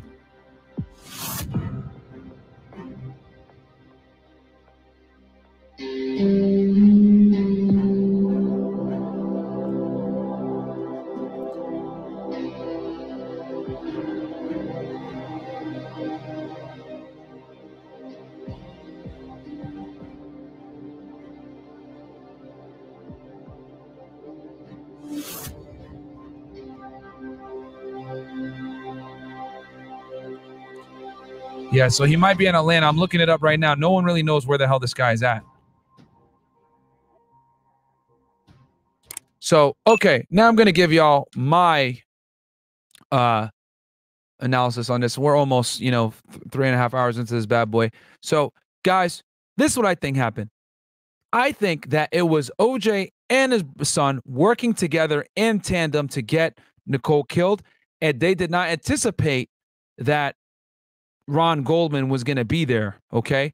Or they were watch. It's one of the two. Either they didn't anticipate him being there, or they're like, you know what, we can get rid of him too. Fuck him, you know? Because again, we knew that they had some kind of relationship, and OJ is an old man at this point, guys. He's 40, almost 50 years old at this point. His son, much younger, bigger, uh, obviously has an anger problem as well. I think that he went ahead and solicited the, you know, his son to help him, and they both carried it out together. This looked like a two man job. because even Jason himself, right? You know, going ahead against someone like Ron Goldman, who's fit, whatever it may be. Obviously, yes, he's a raging lunatic, which is going to give him that crazy strength. But I think it was a two man job. They worked together and they were able to have it and make it happen. I don't think that OJ showed up on number one. I don't think OJ could have done it by himself because he probably would have been uh, bested by Ron Goldman and his uh, and his fitness and his age and his ability to defend himself. And then also on top of that, you know, between the screaming, everything else like that, it would have been very difficult to, for him to control that situation. Remember, the guy's old, has arthritis, isn't necessarily in the best of shape, older, etc. I think he used his son. They had they had paid that guy, right? Um, Wise. He had done surveillance. They had been watching her. They knew that this Goldman guy was probably going to show up. Said, "Fuck it, we can take them both on." Boom. They make it happen. They knock Nicole down. They beat the shit out of Ron Goldman. It looks like he probably was getting attacked by two individuals at once, which is why they were able to make quick work of him and why it was such a bloody scene. And then they were able to go ahead, finish Nicole, and get the hell out of there. That's what I think happened. And that's and and the forensic evidence shows it, right? From you know, Ron Goldman being easily subdued, right? But, but obviously there being a fight, but him get being subdued, even though he's a trained fighter, that didn't make sense. Um, and then also with the blood, the footprints showing that there was more than one per, uh, potential perpetrator there, the hat being there, the nail, uh, the nails on Nicole, right? That didn't match OJ's blood, even though she had blood under her fingernails. It didn't match her blood or Ron Goldman. So it must have been the attacker, and they didn't match OJ. So it must have been someone else. And they never went ahead and pursued Jason. And they didn't want to pursue Jason because obviously it was a black guy to the LAPD. It was a black guy to the, the district attorney's office. And they're like, fuck this. We took an L on the biggest stage. We don't care anymore you know? And they more most importantly they can't get oj okay? Because they already he had already been um found innocent of murder and it's not going to be as sexy to go after his son. Who cares right? They'll be like ah you know what? No no we're not going to revisit this. It would cost us a bunch of money. It cost the city of la i think nine or ten million dollars to prosecute the case. It cost oj 10 million dollars to defend himself in the case and he hasn't even paid shapiro or any of these other guys. A lot of them are still mad at him because he hasn't paid all his legal fees okay? So that is my theory on what I think happened. Of I think was more probable. It was a two man job, father and son. OJ defended his. Uh, OJ took the bullet for his son. Was willing to you know fight it for his son. And honestly, the the the less the less witnesses, the better. And the son was able to come up with a solid alibi and distance himself from the investigation. And LAPD was just so you know hell bent on getting rid of uh, OJ that they didn't even care about his son. You know, the sexier target was OJ. Let's put him in jail. So, anyway, hope you guys enjoyed that video, man. That was a bit. That was a good one, man. I really enjoyed doing that breakdown for y'all. I did a lot of research for that episode, so please like the video, man. Subscribe to the channel, and I'll catch you guys on the next episode of Fed It with the documentary breakdowns. Peace. I was a special agent with Homeland Security Investigations. Okay, guys, HSI. The cases that I did mostly were human smuggling, and drug trafficking. No one else has these documents, by the way. Here's what FedEx covers. Dr. Lafredo confirmed lacerations due to stepping on glass. Murder investigation. You see him reaching in his jacket. You don't know, and he's positioning. Been on February 13, 2019. You're facing two counts of premeditated murder, racketeering, and RICO conspiracy. Young, young Slime Life, here and after referred to as YSL. The defendants, uh, six nine, and then this is Billy Seiko right here. Now, when they first started, guys, six nine ran. I'm a fed. I'm watching this music video. You know, I'm bobbing my head like, hey, this shit lit. But at the same time, I'm pausing. Oh, wait, who this? Right? Oh, who's that in the back? Firearm.